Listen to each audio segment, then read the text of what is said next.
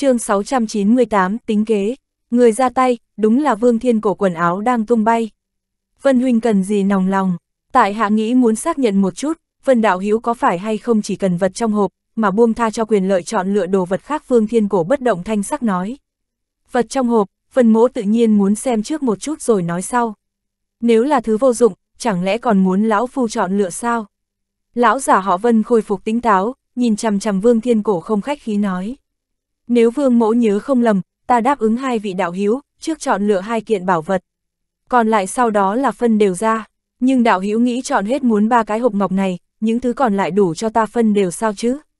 Vương Thiên Cổ cũng không có lộ ra cái gì lo lắng, ngược lại nhìn thoáng qua ba cái hộp ngọc trên giường ngọc, bình tĩnh nói. Đạo hữu có tính toán gì, sao không nói thẳng ra? Chẳng lẽ muốn đổi ý? Nam lũng hầu tiến lên vài bước sóng vai cũng lão giả, ánh mắt đảo qua ba người quỷ linh môn, có chút âm trầm. Vương mỗ không có ý tứ hủy ước, bất quá bảo vật tầng 2 này thật sự không nhiều lắm. Mà hộp ngọc này không cách nào dùng thần thức nhìn thấu trực tiếp, từ đó cũng có thể thấy được đồ vật bên trong 89 phần là bảo vật quý nhất. Nói không chừng công pháp sâu không lường được của thương khôn thượng nhân cùng bí mật liên quan đến trụy ma cốc cũng có trong đó. Dưới tình huống này, hai vị đạo hữu còn muốn trước tiên tra rõ vật phẩm trong hộp rồi mới quyết định lấy, không cảm thấy có chút quá đáng sao. Vương Thiên Cổ mỉm cười, thần sắc thong dong nói, quá đáng, ta chỉ biết là lúc trước mấy vị đạo hữu ẩn cần đáp ứng hai người chúng ta được ưu tiên chọn lựa bảo vật. Về phần đồ vật không đủ, cái đó và ta có gì quan hệ? Lão giả họ vân nhăn mặt, lạnh lùng nói, cũng không thể nói như vậy, đồ vật tầng 2 này vẫn là ưu tiên tùy ý đạo hữu chọn lựa. Bất quá cái hộp cũng không nhất định phải mở ra để xem xét. Nếu đạo hữu lo lắng, có thể chọn lựa đồ vật khác. Tỷ như giường hàn ngọc trước mặt, cũng là kiện bảo vật khó gặp. Đối với tu sĩ tu hành công pháp thuộc tính âm hàn mà nói, chính là phi thường chân quý lão phụ nhân ngoài dự đoán của mọi người mở miệng nói giúp. Vừa nghe vậy, thần sắc nam lũng hầu càng lộ vẻ âm trầm. Đột nhiên tiến lên từng bước, khí thế ngất trời thả ra, làm cho Vương Thiên Cổ cùng lão phụ nhân sắc mặt khẽ biến thụt lùi mấy bước. Sau khi đến Nguyên Anh Kỳ, tranh lệch tu vi giữa Trung Kỳ và Sơ Kỳ không phải là một điểm, nửa điểm. Còn có người nào cảm thấy Vương Đạo Hữu nói có lý, liền đứng ra. Vương Huynh dám ra mặt nói như vậy, hẳn không phải chỉ có một mình thai phu nhân ủng hộ. Hai mắt nam lũng khép hờ, bắn ra hàn quang kiếm khí, hướng những người khác liếc mắt một cái nói. Nam lũng đạo hữu không nên tức giận, Vương Huynh nói cũng không phải không có đạo lý, đạo hữu trung quy cũng không thể ngay cả một chén canh mà cũng không để lại cho mấy người chúng ta tu sĩ mặt đen sau khi trầm mặc một chút, thần sắc bình tĩnh cũng mở miệng nói. Tu sĩ họ vưu nhíu mày, sau khi trần chờ một chút cũng lặng lẽ đến đứng phía sau vương thiên cổ. Tựa như quên mất sự không hài lòng với vương thiên cổ lúc nãy. Nhất thời ngoại trừ hàn lập, tu sĩ trong lầu các chia làm hai phe rằng co. Nam lũng hần cùng lão giả họ vân thấy vậy, sắc mặt cũng đại biến. Xem ra mấy người sớm đã thông đồng, cũng không biết các ngươi đã thương lượng tốt khi nào. Dọc đường đi, các ngươi hẳn là không có cơ hội mới đúng nam lũng hầu trong nháy mắt khôi phục chấn định, nói. Thông đồng hay không chưa nói tới, bất quá ta cùng mấy vị đạo hữu tại lúc trước khi xuất phát, có tụ tập một chút mà thôi. Thương lượng cho tốt về việc tự bảo vệ mình cùng với việc ứng phó những tình huống ngoài ý muốn. Mà lúc này loại tình huống này, chính là một trong những tình huống ta đoán trước lúc này mới không thể không cùng nam lũng đạo hữu tranh chấp một phen vương thiên cổ như không để ý vẫn chậm rãi nói. Mặt nam lũng hầu lạnh giá im lặng, ánh mắt rơi xuống trên người hàn lập. Hàn đạo hữu người cũng nghĩ như thế. Hắn ngưng trọng hỏi, hôm nay hai gã Nguyên Anh trung kỳ bọn họ, rằng co với với bốn gã tu sĩ Nguyên Anh sơ kỳ cùng hai gã kết đan hậu kỳ, thấy thế nào cũng là ở xu thế cân bằng. Đối với Hàn Lập nãy giờ không có tỏ thái độ, tự nhiên có vẻ là yếu tố trọng yếu. Hàn Lập nghe vậy cũng không có lập tức nói gì, chỉ là nghiêng đầu lạnh nhạt nhìn đám người Vương Thiên Cổ vài lần, đem nét mặt biểu tình của bọn họ thu vào trong mắt. Chỉ thấy thần sắc của Vương Thiên Cổ bình thường, ngược lại đối với Hàn Lập còn bình thản cười cười, một tia lo lắng cũng không có. Mà Vương Thiền cùng Yến Như Yên phía sau hắn cũng lộ ra vẻ mờ mịt. Hai người này tựa hồ cũng không biết chuyện Vương Thiên Cổ cùng người khác liên thủ. Nhưng sau đó, hai mắt Vương Thiền bắn ra vẻ hưng phấn, mà Yến Như Yên lại có chút như không biết phải làm sao. Thai phụ nhân cùng tu sĩ họ vưu thì không có một tia kinh hoàng. Nhưng ánh mắt lạnh như băng hướng Hàn Lập không có cảm tình. Trong lòng Hàn Lập đánh thục một cái, mơ hồ cảm giác được có chút không đúng, cảm thấy kinh hãi. Hắn làm như tùy ý đi vài bước, làm cho mình cách xa người hai bên một chút, mới khẽ cười một tiếng nói. Hàn mỗ nào có ý kiến gì? Vô luận kết quả thảo luận của Vương Đạo Hiếu cùng Nam Lũng Huynh ra sao, tại hạ cũng không phản đối. Nghe Hàn Lập nói thế, Nam Lũng Hầu cũng không quá mức kinh ngạc, Hàn Lập lấy thái độ trung lập, không thể nghi ngờ là đã biểu lộ ngay từ đầu. Mới vừa rồi hắn hỏi, chỉ là xác thực cho rõ ràng mà thôi. Vì vậy thần sắc Nam Lũng hòa hoãn hướng Hàn Lập gật đầu, đem ánh mắt từ trên người Hàn Lập chuyển đi, nhìn về phía Vương Thiên Cổ cười lạnh một tiếng, bộ đáng định nói cái gì đó. Nhưng vào lúc này, Bạch Sam lão giả đột nhiên tiến lên phía trước, băng hàn nói. Nam Lũng huynh, cần gì cùng bọn họ nói nhảm nhiều như vậy chứ? Mấy người này thật tưởng rằng cùng đứng lên liên thủ thì sẽ khiến cho chúng ta nhượng bộ sao? Quả thật si tâm vọng tưởng. Nói xong lời này, lão giả há mồm, bạch quang chấp động, bộ dáng như là pháp bảo từ trong miệng sẽ phun ra. Vân huynh chậm đã, ta cùng. a ngươi, Nam Lũng hầu nhướng mày, tưởng muốn ngăn cản hành động có chút liều lĩnh của lão giả họ Vân. Dù sao nếu thật sự động thủ, bọn họ cũng không nắm chắc. Nhưng không nghĩ tới chính là, lão giả nghe vậy lại quay mạnh đầu, một cái vòng bạc bắn ra, nhanh như tia chớp đánh tới trên người Nam Lũng hầu trong gang tấc. Phanh, một tiếng va chạm truyền ra, tại nét mặt khó có thể tin của Nam Lũng hầu, Ngân Luân phá mở hộ thể kim quang của hắn, trực tiếp đánh tới trên ngực. Chẳng những đánh hắn lùi lại mấy bước, bên ngoài ngực cũng bị lõm vào một khối. Một ngụm máu tươi phun ra, kim quang chợt lóe. Nam lũng kinh sợ phản ứng, tay áo lập tức vung lên, một tiểu kiếm màu vàng từ trong tay áo bắn nhanh ra, hung hăng hướng lão giả họ vân phóng tới. Nhưng thân hình lão giả thoáng một cái, bay đến bên người đám người vương thiên cổ đối diện, cũng nâng tay điểm một cái, thu hồi ngân luân đỡ lấy tiểu kiếm, sau đó lạnh lùng nhìn trước ngực nam lũng. Chỉ thấy bên trong mảnh áo đã bị phá nát rách vụn, lộ ra một khối giáp có ánh sáng màu xanh. Mặc dù bị lõm sâu vào, nhưng cũng không có bị thủng. Thanh tê giáp, quả nhiên người đem bảo vật này mặc vào ánh mắt lão giả họ vân chấp động, không biểu tình nói. Tốt, tốt lắm, không nghĩ tới người cũng bị bọn họ mua chuộc một mảnh đỏ sầm hiện lên trên mặt nam lũng hầu, nắm tay xoa ngực, hai mắt nhìn lão giả chằm chằm như muốn phún hỏa. Tiểu kiếm màu vàng nọ, mặc dù quang mang trói mắt che ở trước người. Nhưng xem ra, nội thương của người này rất nặng, mấy vị đạo hữu cẩn thận, quyết không để thằng nhãi này rời đi, nếu không lấy tu vi của hắn, sẽ có phiền toái rất lớn lão giả họ Vân không để ý tới Nam Lũng Hầu, ngược lại hướng đám người Vương Thiên Cổ thản nhiên nói, xem Nam Lũng Hầu như là một người qua đường xa lạ. Yên tâm, ở đây nhiều người như vậy, hắn lại vừa bị trọng thương, lần này dù chắp cánh cũng khó bay tu sĩ họ vưu âm hiểm cười nói, sau đó thả ra một cái phi đao màu trắng. Lúc này Vương Thiên Cổ lại quay đầu, nhiệt tình hướng Hàn Lập nói. Hàn đạo hữu nếu như bây giờ đồng ý cũng ta liên thủ đối phó thằng nhãi này, bảo vật trên người hắn ngươi cũng sẽ có một phần, như thế nào? Hắn nói cực kỳ thành khẩn, tựa hồ không để ý tới ân oán ngày xưa của Hàn Lập cùng Vương Thiền. Liên thủ, thân sắc Hàn Lập cũng bị một mản vừa rồi làm cho khiếp sợ mấy lần, giờ phút này nghe vậy liền thở mạnh một hơi. Ánh mắt xoay chuyển, rồi nhìn lại ở thang lầu, trong nháy mắt ngay lúc lão giả ra tay ám toán Nam Lũng Hầu, lão phụ nhân vô thanh vô tức thủ ở nơi này, nếu không hắn đã sớm độn bắn xuyên qua, trước trốn thoát. Mà nhìn bạch quang trên vách tường chấp động, rõ ràng là bị hạ cấm chế lợi hại, không thể nào phá xuyên qua mà chạy.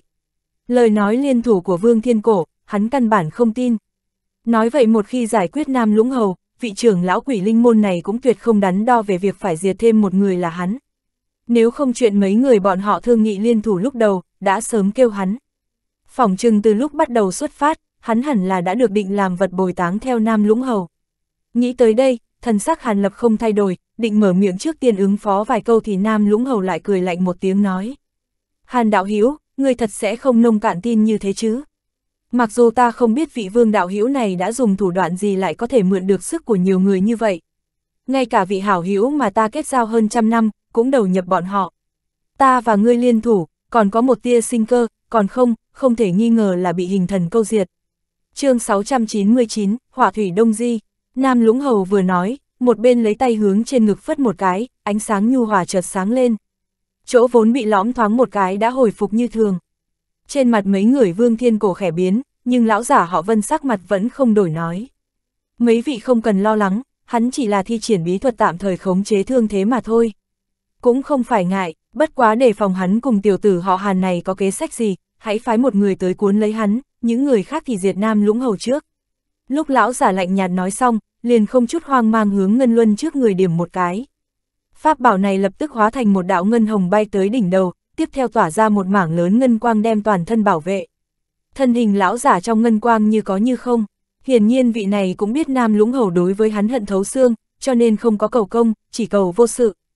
Vương Thiên cổ nhíu mày, tựa hồ cảm thấy có chút đạo lý, vì vậy nghiêng đầu hướng tu sĩ họ Vưu bên cạnh nói. Vưu huynh, tiểu tử này trước hết giao cho người ứng phó một chút. Không cần cùng hắn liều mạng, chỉ cần cuốn lấy nhất thời nữa khác. Chờ thu thập nam lũng hầu xong, giờ chết của hắn cũng sẽ tới. Vương Thiên Cổ rốt cục cũng không hề che giấu sát ý đối với Hàn Lập, sau khi âm Hàn hướng Hàn Lập liếc mắt một cái, trên mặt bỗng nhiên toát ra hắc quang cao cỡ vài thước, cả người ẩn vào trong bóng tối, có vẻ vô cùng quỷ dị. Lão phụ nhân cùng với hán tử mặt đen thấy vậy, cũng đều phun ra pháp bảo, chậm rãi tụ lại. Nói hay lắm, vị đạo hữu họ Hàn này giao cho ta đi. Tu sĩ họ vưu cười hắc hắc, một cái ngọc như ý mở ảo từ trong cổ tay áo không tiếng động xuất ra, sau đó đi tới vài bước, như cười như không đứng đối diện Hàn Lập. Đối với hắn mà nói, cuốn lấy một gã mới tiến cấp đến Nguyên Anh Kỳ chỉ là việc nhỏ, so với việc đối mặt với vị tu sĩ Nguyên Anh Trung Kỳ Nam Lũng Hầu này còn an toàn hơn. Hàn Lập nhìn chằm chằm tu sĩ họ Vưu, vẫn đứng tại chỗ không nhúc nhích. Nhưng chống ngược tại lão phụ nhân chỗ cửa cầu thang trong nháy mắt đập mạnh, từ trong tay áo lấy ra một cổ bảo nắm chặt. Đúng lúc này, tay Nam Lũng Hầu đột nhiên hướng về phía sau phất một cái, một mảnh khói vàng bắn ra, đồng thời quấn lấy ba cái hộp ngọc trên giường ngọc phía sau, sau đó thu về trong tay. Tiếp, Nam Lũng Hầu không có một điểm trần chờ hất tay, một cái hộp ngọc bắn nhanh về phía Hàn Lập. Hành động này nằm ngoài dự kiến của mọi người, hiển nhiên cũng không có người nào kịp ngăn cản. Hộp ngọc bị Hàn Lập dễ dàng bắt được trong tay, nhưng mắt hắn nheo lại, lộ ra nghi hoặc.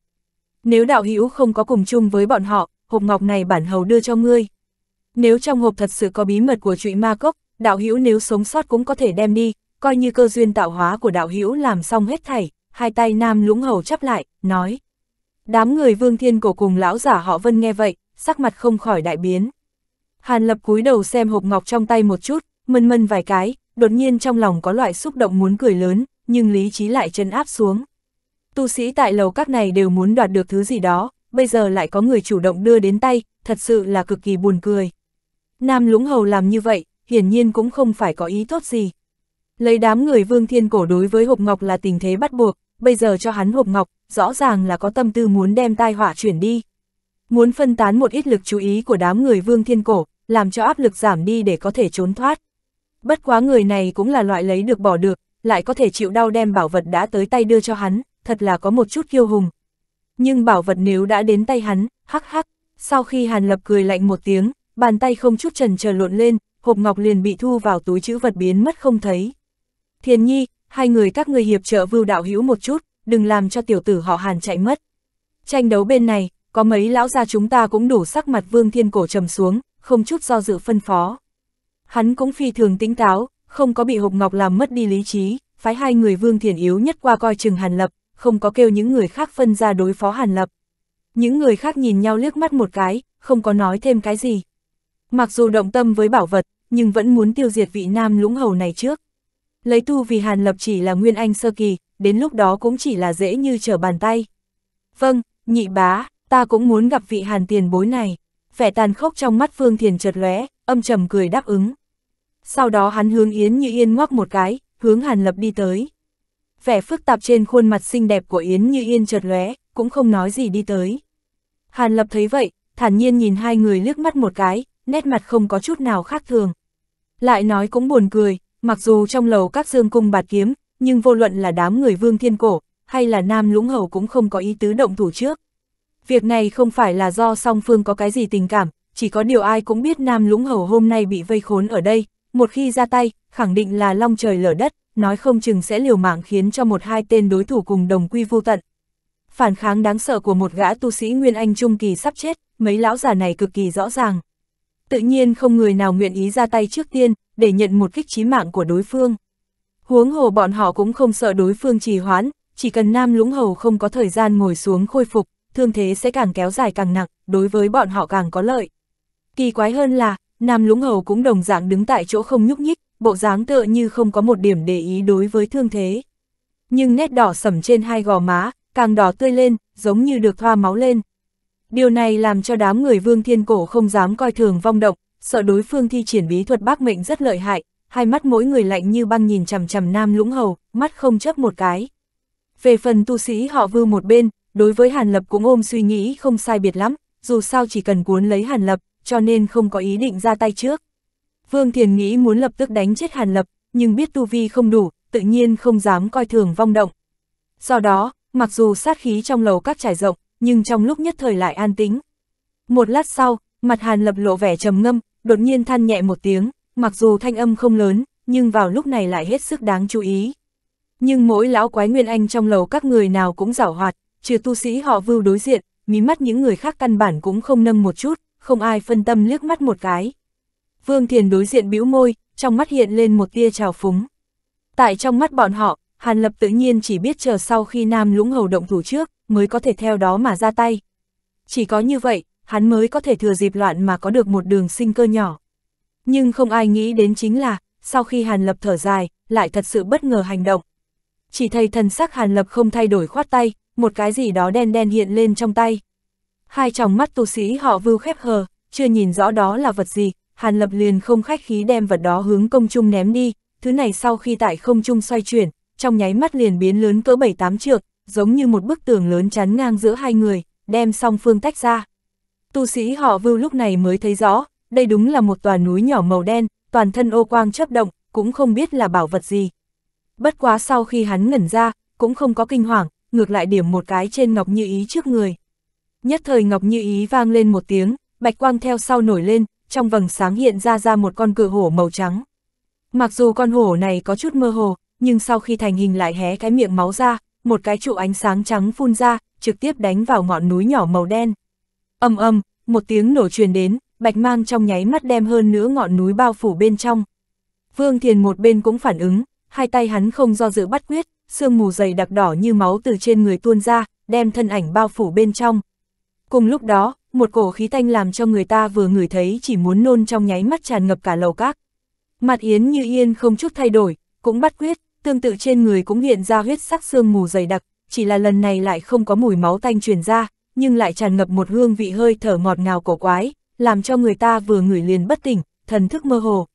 Tu sĩ họ vưu thấy vậy, trong lòng yên tâm hơn, một bên khống chế bạch hổ phun ra cột sáng một lần nữa, một bên nắm tay hướng túi chữ vật đánh một cái, một cái hổ lô màu xanh cỡ một tấc hiện lên trong tay. Ngay lúc hắn nghĩ muốn cầm hồ lô trong tay xuất ra, chợt nghe phía đối diện tựa hồ truyền đến một tiếng sấm xé gió rất nhỏ, hắn liền ngẩn ra, trong lòng nổi lên sự cảnh giác, không chút trần chờ bắt quyết, một cái bạch quang cháo xuất hiện. Mà cơ hồ cùng lúc đó, ngân sắc điện hồ chợt lóe lên bên cạnh, thân ảnh hàn lập trên lưng có hai cánh, cơ hồ hiện lên sát màn hào quang hộ thân. Ngươi, tu sĩ họ vưu sắc mặt kinh hãi, nhưng kinh nghiệm đối chiến cũng không ít, một tay vội vàng dương hồ lô màu xanh trong tay, một đạo điện hồ màu xanh từ trong hồ lô bắn nhanh ra, rất chói mắt. Nhưng trong phút chốc lúc điện hồ màu lam bắn ra, Hàn Lập không có ý tránh né, lại mộc nhiên há mồm, một ngọn lửa màu xanh nhỏ như tơ từ trong miệng phun ra, sợi tơ không hề trở ngại xuyên thùng bạch quang cháo bắn thẳng đến trên người tên tu sĩ họ Vưu. chương 700, tiên thủ. Việc màn hào quang hộ thể không thể ngăn cản được lam sắc hỏa diễm hiển nhiên nằm ngoài dự liệu của tu sĩ họ Vưu.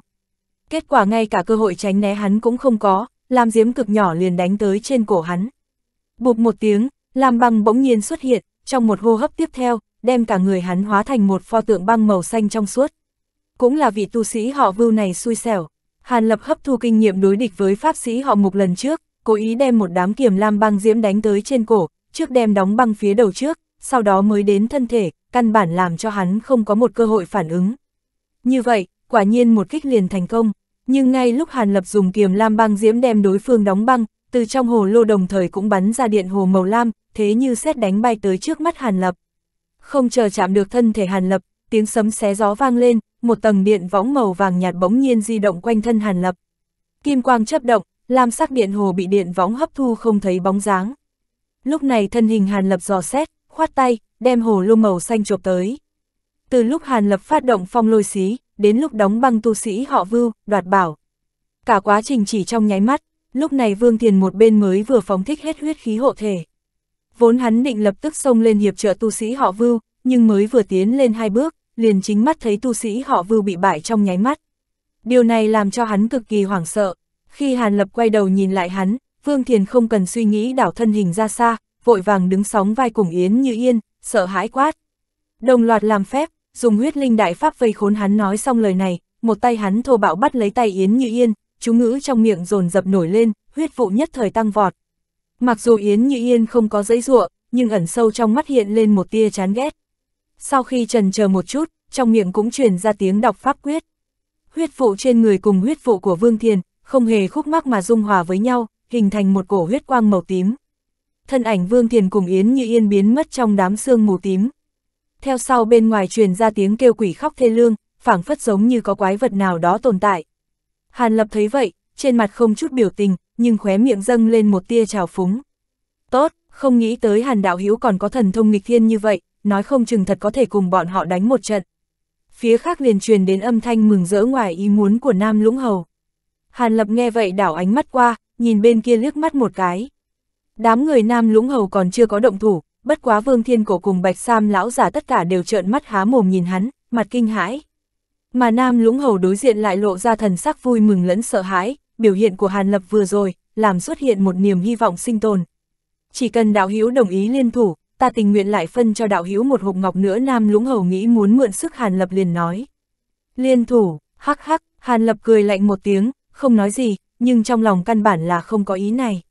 Nhưng hắn rất rõ ràng, đừng thấy dễ dàng bắt một gã nguyên anh kỳ cùng cấp như thế mà mừng, điều này hoàn toàn là do tu sĩ họ vưu không biết lợi hại của kiềm lam băng diễm, mới có thể dễ dàng bị đánh trúng. Nếu không dùng thủ đoạn khác để đấu pháp, cho dù có thể chiến thắng, cũng không phải là chuyện nhất thời nữa khác. Mà đối phương còn có ba gã sơ kỳ và một gã trung kỳ, nếu như nam lũng hầu hoàn hảo không bị tổn thương, vậy cũng không thể không hợp tác được. Nhưng bây giờ hắn thân chịu trọng thương, cùng hắn liên thủ, chẳng phải là tự hại chính mình sao? Hộp ngọc này không cần cũng được, bất quá trước khi đi, mình phải làm cho bọn họ động thủ mới được, để cho tâm tư bọn họ đặt trên người nam lũng hầu. Nếu không vạn nhất họ đổi ý, hắn sẽ không dễ dàng chạy như vậy. Nghĩ tới đây, Hàn Lập không hề để ý người khác, sau khi hai cánh sau lưng vừa động, tại trong tiếng sấm, thân hình từ tại chỗ biến mất. Không hay, hắn muốn chạy, cản hắn lại, không thể để hắn mang hộp ngọc đi lão giả họ Vân vừa thấy cảnh này, lập tức không nghĩ ngợi lớn tiếng nói. Nhưng là vừa thấy cảnh Hàn Lập cơ hồ giết tu sĩ đồng cấp trong nháy mắt, lão phụ nhân cùng hắn tử mặt đen nghe vậy, căn bản như giả điếc, không có chút ý định động thủ. Cho dù là Vương Thiên Cổ cũng có vẻ trần chờ nhất thời không có chủ ý. Dù sao nếu Hàn Lập thật chạy như vậy, bọn họ đối phó Nam Lũng Hầu còn lại có 9 phần nắm chắc.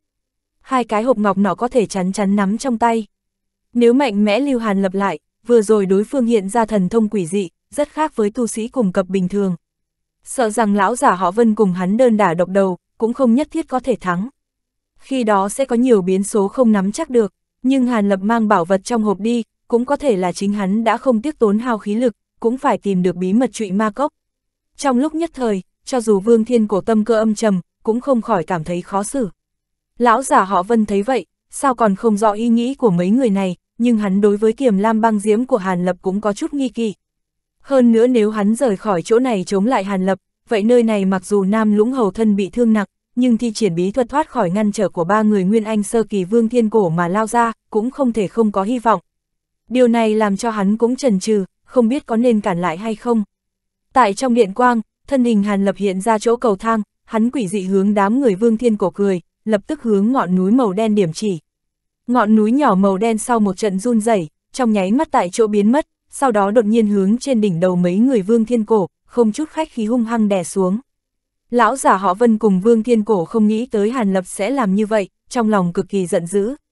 Nhưng lấy uy lực của ngọn núi này, cho dù là lão giả họ Vân cũng tuyệt không có dũng khí một mình đón đỡn thân hình mấy người bất đắc dĩ không thể không chấp lên, bắn ra phong mang áp chế ngọn núi. Nhưng nhờ đó, Nam Lũng Hầu rốt cục cũng có cơ hội ra tay, dưới ánh mắt sáng ngời của hắn, đột nhiên thân hình hóa thành một đạo kim quang chói mắt, trực tiếp hướng lão phụ nhân đối diện phóng đi, lão phụ nhân thất kinh, hoàng quang trước người chợt lóe, một thổ hoàng sắc tiểu thuẫn hiện lên trước người. Nhất thời hoàng mang cùng kim quang giao nhau, kim quang quanh thân nam lũng hầu phóng lớn, muốn một hơi phóng ra. Nhưng mấy người khác thấy vậy, không suy nghĩ nhiều liền thúc giục pháp bảo công tới, đem hắn ngăn lại.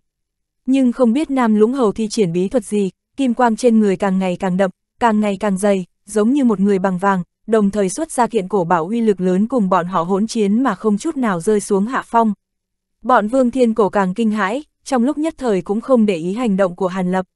Hàn Lập thấy vậy, trong lòng hài lòng, hướng ngọn núi màu đen điểm chỉ, tiếng gió phát ra, biến nhỏ lại cỡ một tấc, bay về trong tay áo.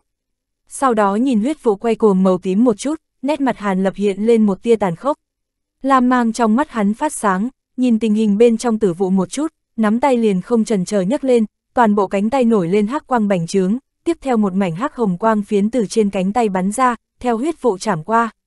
Đúng là bí công âm ma chảm, một tiếng kêu thê lương thảm thiết từ trong huyết vụ truyền ra, biện hồ tại Hàn Lập chấp động, biến mất không thấy bóng dáng.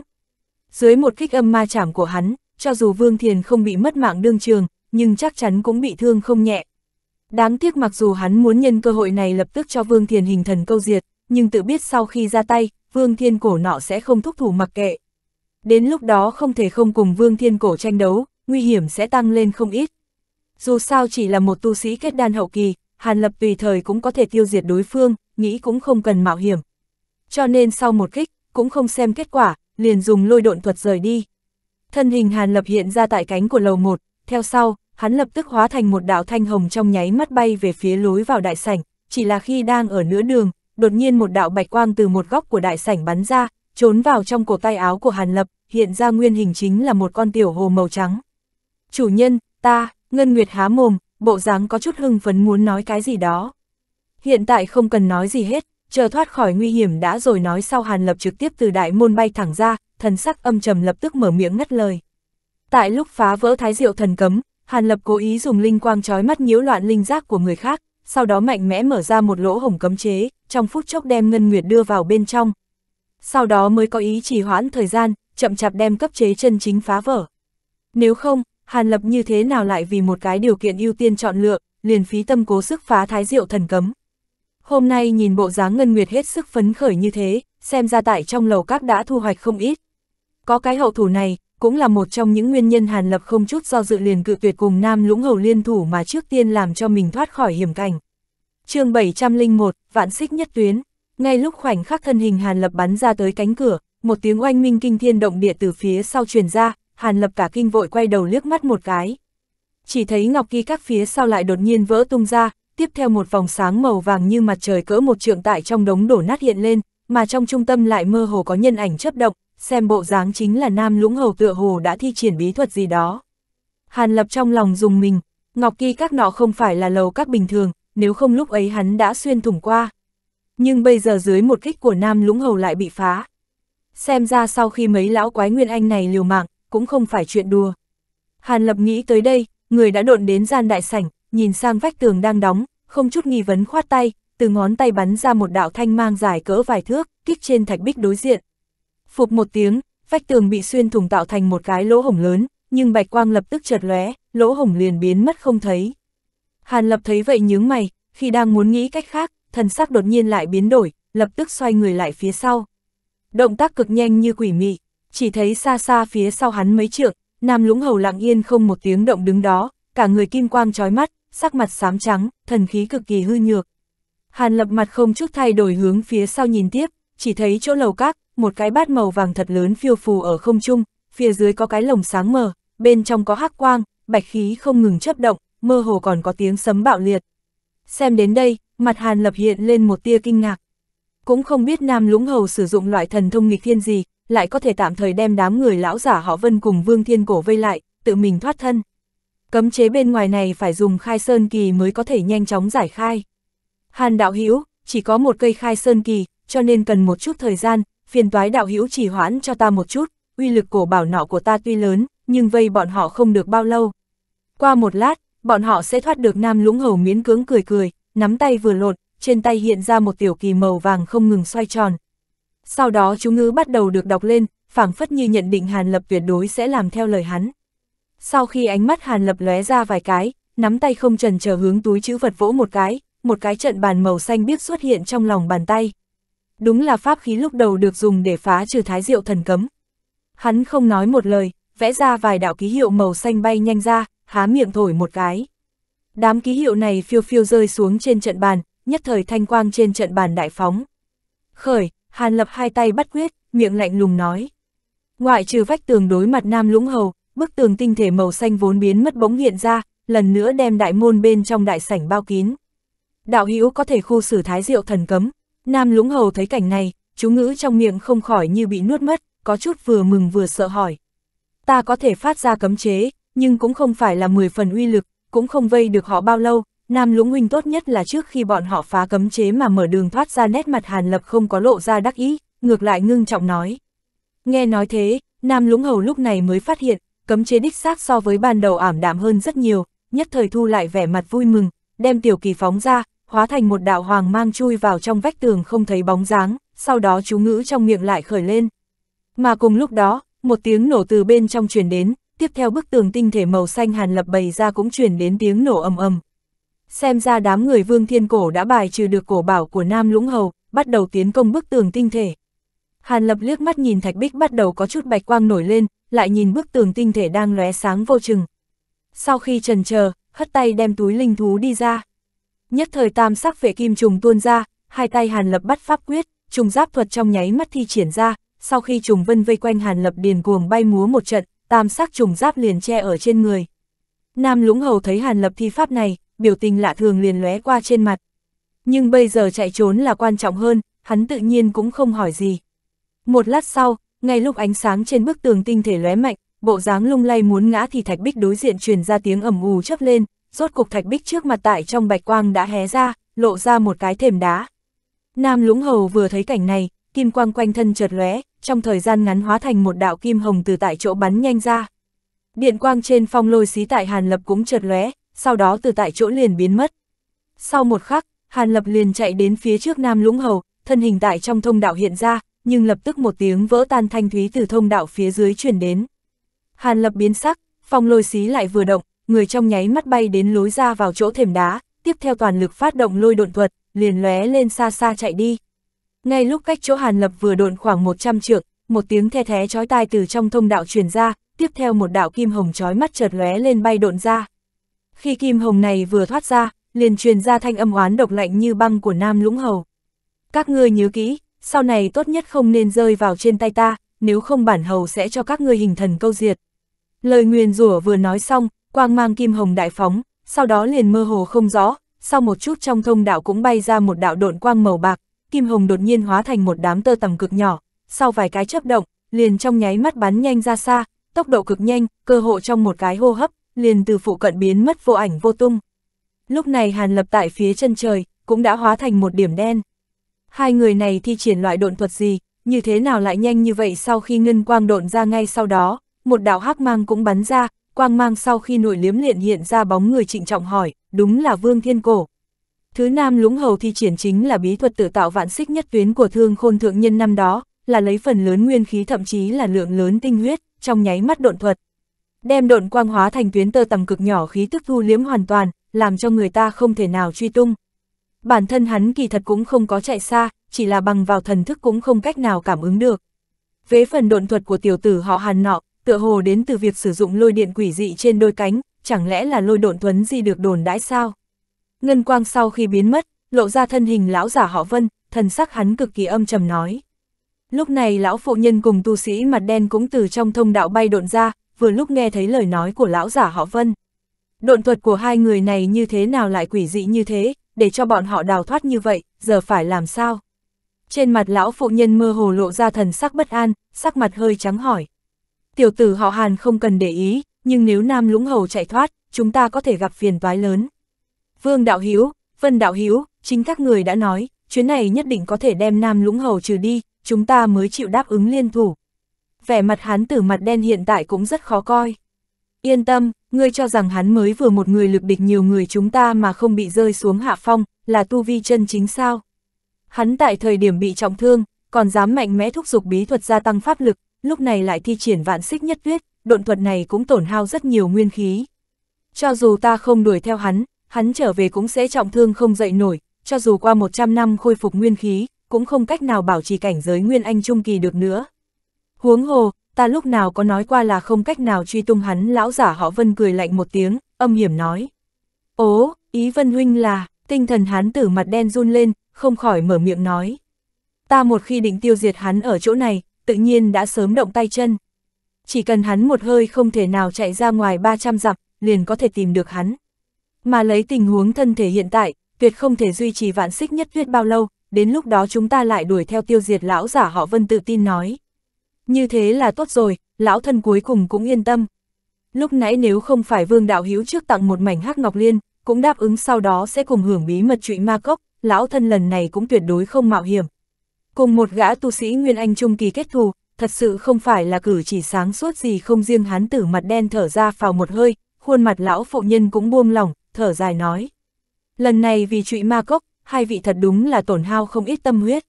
Bất quá chúng ta không nghĩ tới chính là, Vân Đạo Hiếu thì ra không phải tán tu, mà là trưởng lão quỷ linh môn, thật sự là ngoài dự liệu.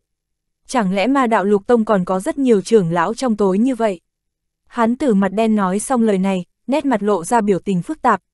Lão Phu mấy năm trước mặt dù xuất thân quỷ linh môn, nhưng luôn luôn không quản sự tình. Cho nên ngay cả người trong tông biết thân phận chính thức của Lão Phu cũng không nhiều lắm, cũng không có ý tứ lừa gạt người nào. Lại nói tiếp, Nam lũng đạo hữu này thân là hậu nhân của thương khôn thượng nhân, cùng kết giao với Lão Phu nhiều năm, vốn không nghĩ muốn giết hắn. Nhưng đáng tiếc sau lại biết được, hắn lại len lén kết giao với mấy vị trưởng lão thiên cực môn, cũng có ý gia nhập tông môn này. Lão Phu nói bóng gió vài câu, hắn cũng không có chút ý tứ thay đổi nào, còn có ý trợ giúp thiên cực môn tiến vào trụy ma cốc lấy bảo. Do đó, lão Phu quyết không thể ngồi nhìn thế lực tránh đạo đại trướng, không thể không hạ độc thủ lão giả họ Vân lắc đầu, thản nhiên nói. chương 702, Luyện Anh, Nam Lũng Hầu cùng thiên cực môn có liên quan, Vân Đạo Hiếu, người trước kia cũng không đề cập qua việc này. Sắc mặt lão phụ nhân khẽ biến hỏi, hắn tử mặt đen cũng lộ ra vẻ kinh sợ. Không đề cập qua sao, có lẽ lão phu nhất thời khinh thường sơ sẩy việc này. Bất quá, vị lão hiếu này cũng chưa thật sự gia nhập thiên cực môn. Hai vị nếu có chút lo lắng, đại thể có thể gia nhập bổn môn. Nếu trở thành trưởng lão quỷ linh môn, thiên cực môn cũng không có khả năng làm gì nhị vị. Lão giả họ vân thản nhiên cười, không chút hoang mang nói. Hừ, tuổi lão thân cũng đã như vậy, không có hứng thú chịu câu thúc lão phụ nhân nghe vậy hừ lạnh một tiếng, từ chối thẳng. Tại hạ vốn lười biếng, cũng không có hứng thú gia nhập tông môn hán tử mặt đen nhướng mày, cũng lạnh nhạt nói. Vậy thực sự là tiếc nuối, hai vị nếu đồng ý gia nhập quỷ linh môn chúng ta, nhất định có thể làm cho thanh thế của bổn môn đại chấn. Lão Phu cũng không bắt buộc nhị vị đạo hiếu, chỉ cần lúc này đem nam lũng hầu diệt sát, thiên cực môn cũng sẽ không vì một người chết mà xuất đầu. Chỉ là đáng tiếc, mặc dù ta cùng nam lũng hầu tương giao hơn trăm năm, nhưng chuyện có liên quan đến trụy ma cốc, hắn lại kín như bưng, một tia cũng không nói qua. Bí ẩn trong động phủ nơi đây, chỉ có lộ ra một phần bản đồ mà thương không thượng nhân ra vào năm đó. Nếu theo bản đồ này đi vào, hiển nhiên sẽ an toàn hơn rất nhiều.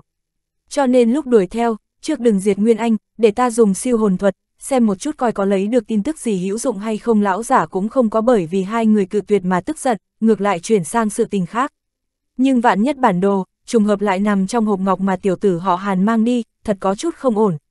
Mặt Vương Thiên Cổ lộ vẻ lo lắng nói. Chuyện này dễ thôi, lúc đó đem việc này nói ra, làm cho tất cả tông môn tại thiên nam biết việc này. Đến lúc đó không nói tránh ma lưỡng đạo, ngay cả thiên đạo minh cũng sẽ truy hỏi hắn về địa đồ. Sau đó chúng ta lại đục nước béo cò, chỉ là một cái lạc vân tông, cũng muốn một mình hưởng bảo vật tại trụy ma cốc, trước phải nhìn xem coi mình có bản lãnh không đã chứ. So sánh với bản đồ nọ, ta càng để ý đến một ít tin tức về trụy ma cốc trong đầu nam lũng hầu hơn. Nếu biết mấy thứ này, chính là mọi người đều biết phương pháp vào trụy ma cốc, chúng ta cũng sẽ chiếm được đại tiên cơ lão giả họ vân chậm rãi nói. Vạn nhất thực trùng hợp, cũng chỉ có thể như thế. Bất quá trước đó, chúng ta cũng có thể thử bỏ ra đại giới xem coi có thể đem lộ tuyến đồ trong tay đối phương đổi trở về. Dù sao thế gian này không có chuyện không thể giao dịch. Cho dù hắn cùng chúng ta kết hạ cửu oán cũng vậy Vương Thiên Cổ sau khi ngẫm lại, đề xuất ý nghĩ của mình. Hắc hắc, Vương Sư Đệ làm việc so với huynh càng thỏa đáng. Bất quá nói lại, thần thông tiểu từ này thật sự quỷ dị. Tuổi hắn thật cùng Vương Sư Điệt không sai biệt lắm, nhưng ta thấy kinh nghiệm tranh đấu, so với mấy cái lão gia chúng ta lại xảo trá hơn nhiều, ngay cả Vưu Đạo Hữu cũng bị bại. Nói về đơn đả độc đấu, ta cũng không thấy có thể làm gì được hắn lão giả họ Vân thở một hơi dài, thì thảo nói. Ta hỏi qua Thiền Nhi, người này ban đầu chỉ là một gã đệ tử bình thường ở Hoàng Phong Cốc, tu vi cũng chỉ có chút cơ kỳ. Bây giờ vì sao thần thông lại đột nhiên tăng mạnh như vậy, cũng không rõ lắm. Bất quá, nếu không phải tiểu tử này lợi hại hơn chúng ta dự liệu nhiều, lại quấy rối phá hoại, bằng không dưới liên thủ của mấy người chúng ta, như thế nào lại để cho Nam Lũng Hầu dễ dàng chạy mất ánh mắt Phương Thiên Cổ chấp động, lộ ra thần sắc ảo não. Hiển nhiên hắn nhớ tới Hàn Lập dùng ngọn núi màu đen công kích, cuối cùng lại sử dụng thái diệu thần cấm ngăn cản bọn họ. Đám người lão phụ nhân nghe vậy, cũng chỉ có cười khổ mà thôi. Nới tới đây, chúng ta trước đem Vưu Đạo Hữu giải phóng. Lấy tu vi nguyên anh kỳ của Vưu Đạo Hiếu, hẳn là còn có cách cứu. Mặt khác ta cũng lo lắng tiểu chất, mới vừa rồi lúc hàn tiểu tử chuẩn bị thoát ra, đã phóng ra hắc hồng sắc quang phiến, có chút giống với ma huyết chảm mà bản thân tu luyện. Không biết có chuyện gì hay không Vương Thiên Cổ tiếp theo lại đề nghị. Cũng tốt, dù sao bây giờ cũng không cách nào cảm ứng được đối phương, trước đi xem một chút. Đợi khi bí thuật của nam lũng đạo hữu kia mất đi hiệu lực, chúng ta lại truy đến lão giả họ Vân đồng ý nói. Nhất thời đoàn người khởi động độn quang bay vào trong thông đạo lần nữa. Trong nháy mắt trở lại trong đống đổ nát của Ngọc Kỳ Các. Chỉ thấy Yến Như Yên ngồi trồm hổm, tay chân luống cuống. Mà Vương Thiền nằm ở phụ cận vẫn không nhúc nhích, chuyện gì xảy ra, Thiền Nhi bị đáng trúng chỗ yếu hại sao chứ? Vương Thiên Cổ vừa thấy cảnh này, thanh âm phát lạnh hỏi. Đến lúc này, thanh âm của hắn vấp có vẻ bình tĩnh dị thường. Không có, nhưng chân của phu quân, Yến Như Yên trần chờ nói, trên mặt lộ ra vẻ lo âu. Vương Thiên cổ tiến lên vài bước xem xét, kết quả lại cau mày. Chỉ thấy hai bắp đùi Vương Thiền đều bị đứt đoạn, bên cạnh là hai cái chân bị cắt, nhưng lại không thấy máu. Ta cùng phu quân liên thủ thi triển ra huyết linh đại pháp hộ thể huyết phụ, nhưng không biết bí thuật đối phương thi triển là cái gì, chẳng những nhanh vô cùng, thoáng một cái đã tới trước mặt, hơn nữa huyết vụ không cách nào ngăn cản mảy may. Phu quân chỉ kịp nhảy lên một nữa, né qua một chảm cắt ngang. Nhưng hai chân liền, Yến Như Yên có chút bất đắc dĩ nói. Đã như vậy, vì sao không lập tức thi thuật giúp Thiền Nhi ghép chi? Người hẳn là hiểu pháp thuật này Vương Thiên Cổ vẫn âm trầm hỏi. Ta đã thử qua nhiều loại pháp thuật ghép chi, cũng không biết vì sao không có một điểm hiệu quả, căn bản không thể ghép được. Mặc dù chỗ bị cắt không có chảy máu, nhưng có một cổ hắc khí tụ tại miệng vết thương không tiêu tan, như thế nào cũng không khu trừ được. Có lẽ vì vậy mà pháp thuật mới mất đi hiệu lực, mà phu quân cũng bởi vì vậy mà hôn mê bất tỉnh đôi mi thanh tú của Yến như yên nhíu lại không dám khẳng định nói. Công kích như thế nào lại có thể gây thương tích như vậy? Để ta xem, thần sắc Vương Thiên cổ hòa hoãn, ngưng thần nhìn vết thương của Vương Thiên. Tại miệng vết thương, quả nhiên có một đoàn hắc khí lơ lửng, như ẩn như hiện. Vương Thiên cổ khoát tay, hắc mang trên năm ngón chấp động, hướng tả khí bắt tới, một đoàn hắc khí xuất hiện trên đầu ngón tay. Hắn vốn định dùng chân hỏa đem tà khí này thiêu hủy, nhưng đột nhiên trong lòng vừa động ngẫm lại, sau đó hướng bên hông vỗ một cái, một cái bình nhỏ xuất hiện trên tay. Vương Thiên Cổ dùng linh lực đem hắc khí bao vây, hướng tới bình nhỏ tống vào. Kết quả vù một tiếng, tà khí bị hút vào trong bình, sau đó được thận trọng thu vào. Xem ra Vương Thiên Cổ có ý định sau này nghiên cứu thứ này, để đối với công pháp của Hàn Lập có chút kiến giải tốt hơn. Vương Thiên Cổ không có chú ý tới chính là, Yến Như Yên thấy cảnh này, nét mặt phức tạp chợt lóe qua, nhưng lập tức khôi phục như thường. Đợi Vương Thiên Cổ đem tà khí của cái chân khác lấy ra, Yến Như Yên liền không nói gì lập tức đem đoạn chi chắp lại chỗ vết thương một lần nữa, bắt đầu làm phép ghép chi. Vương Thiên Cổ lúc này mới hài lòng gật đầu, xoay người hướng một bên đi tới. Đám người lão giả họ Vân ở chỗ tượng băng của tu sĩ họ Vưu đang có chút kinh ngạc ngẩn người. Sao vậy, mấy vị đạo hữu còn chưa động thủ giải khai? Vương Thiên Cổ đi tới trước mặt, có chút kỳ quái hỏi. Giải khai, giải như thế nào, không nghĩ tới thứ này so với tưởng tượng của chúng ta lại âm độc hơn nhiều. Trong mắt lão phụ nhân hiện lên một tia sợ hãi, thì thào nói. Sắc mặt lão giả họ vân âm trầm, đứng tại chỗ không nói gì. Lời này là có ý tứ gì? Miệng vương thiên cổ nói như thế, nhưng ánh mắt sau khi nhìn băng điêu, liền lộ ra nét đăm chiêu, mơ hồ đoán được cái gì. Vương huynh hãy nhìn nắm tay hán tử mặt đen hướng chân mặt đất động một cái, sau đó hướng băng điêu hất tay. Một mảnh ngọc bị vỡ trực tiếp bay đi, bịch một tiếng, lam quang chợt lóe, mảnh ngọc vừa tiếp xúc với mặt ngoài của băng điêu, đầu tiên là cũng hóa thành khối băng màu xanh, tiếp theo liền vỡ vụn thành vô số phiến tinh quang, biến mất vô ảnh vô tung. Mà hành động của hán tử mặt đen còn chưa có hết, hắn đứng cách một trượng, vươn ngón tay nhẹ nhàng điểm một cái. Một đám chân hỏa màu trắng được phun ra từ đầu ngón tay.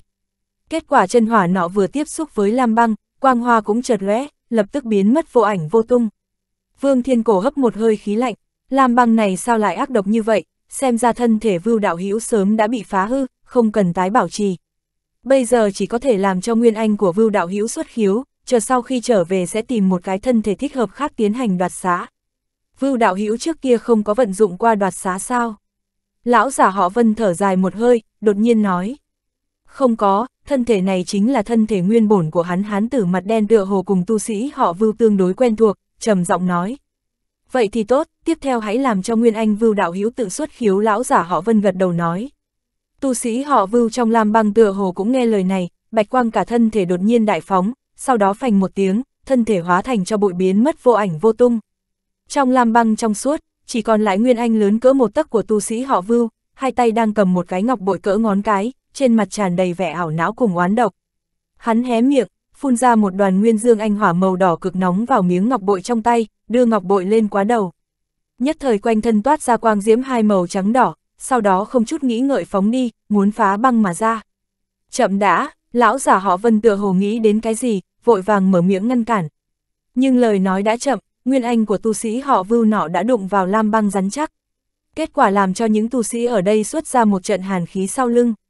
Quang diễm hai màu trắng đỏ nhìn như rất lợi hại nọ, lúc tiếp xúc vào băng điêu liền giống như một chùm sáng. Cả băng điêu bốc cháy hừng hực, lập tức hóa thành một đoàn lam sắc hỏa diễm, đem hồng bạch quang diễm lẫn nguyên anh nuốt vào bên trong. Trong giây lát hồng bạch quang diễm đã chuyển hóa thành lam diễm, miệng nguyên anh phát ra tiếng kêu thê lương cực kỳ thảm thiết, mang theo lam diễm vùng vẫy điên cuồng trong không trung, nhưng chỉ bay ra xa được vài chục chương, liền kêu rên liều mạng lăn lộn trong lam diễm. Một lát sau âm thanh chợt dừng lại, nguyên anh tại trong hỏa diễm bị luyện hóa thành một đạo bạch quang, tu sĩ họ vưu từ nay về sau tại thế gian bị hình thần câu diệt, không thể tái sinh. chương 703, bảo vật trong hộp, sau khi dùng lôi độn thuật một hơi độn ra hơn trăm dặm, Hàn Lập mới dừng lại quan sát phương hướng một chút rồi mặc huyết sắc phi phong, hóa thành một đoàn huyết quang, phá không bay đi.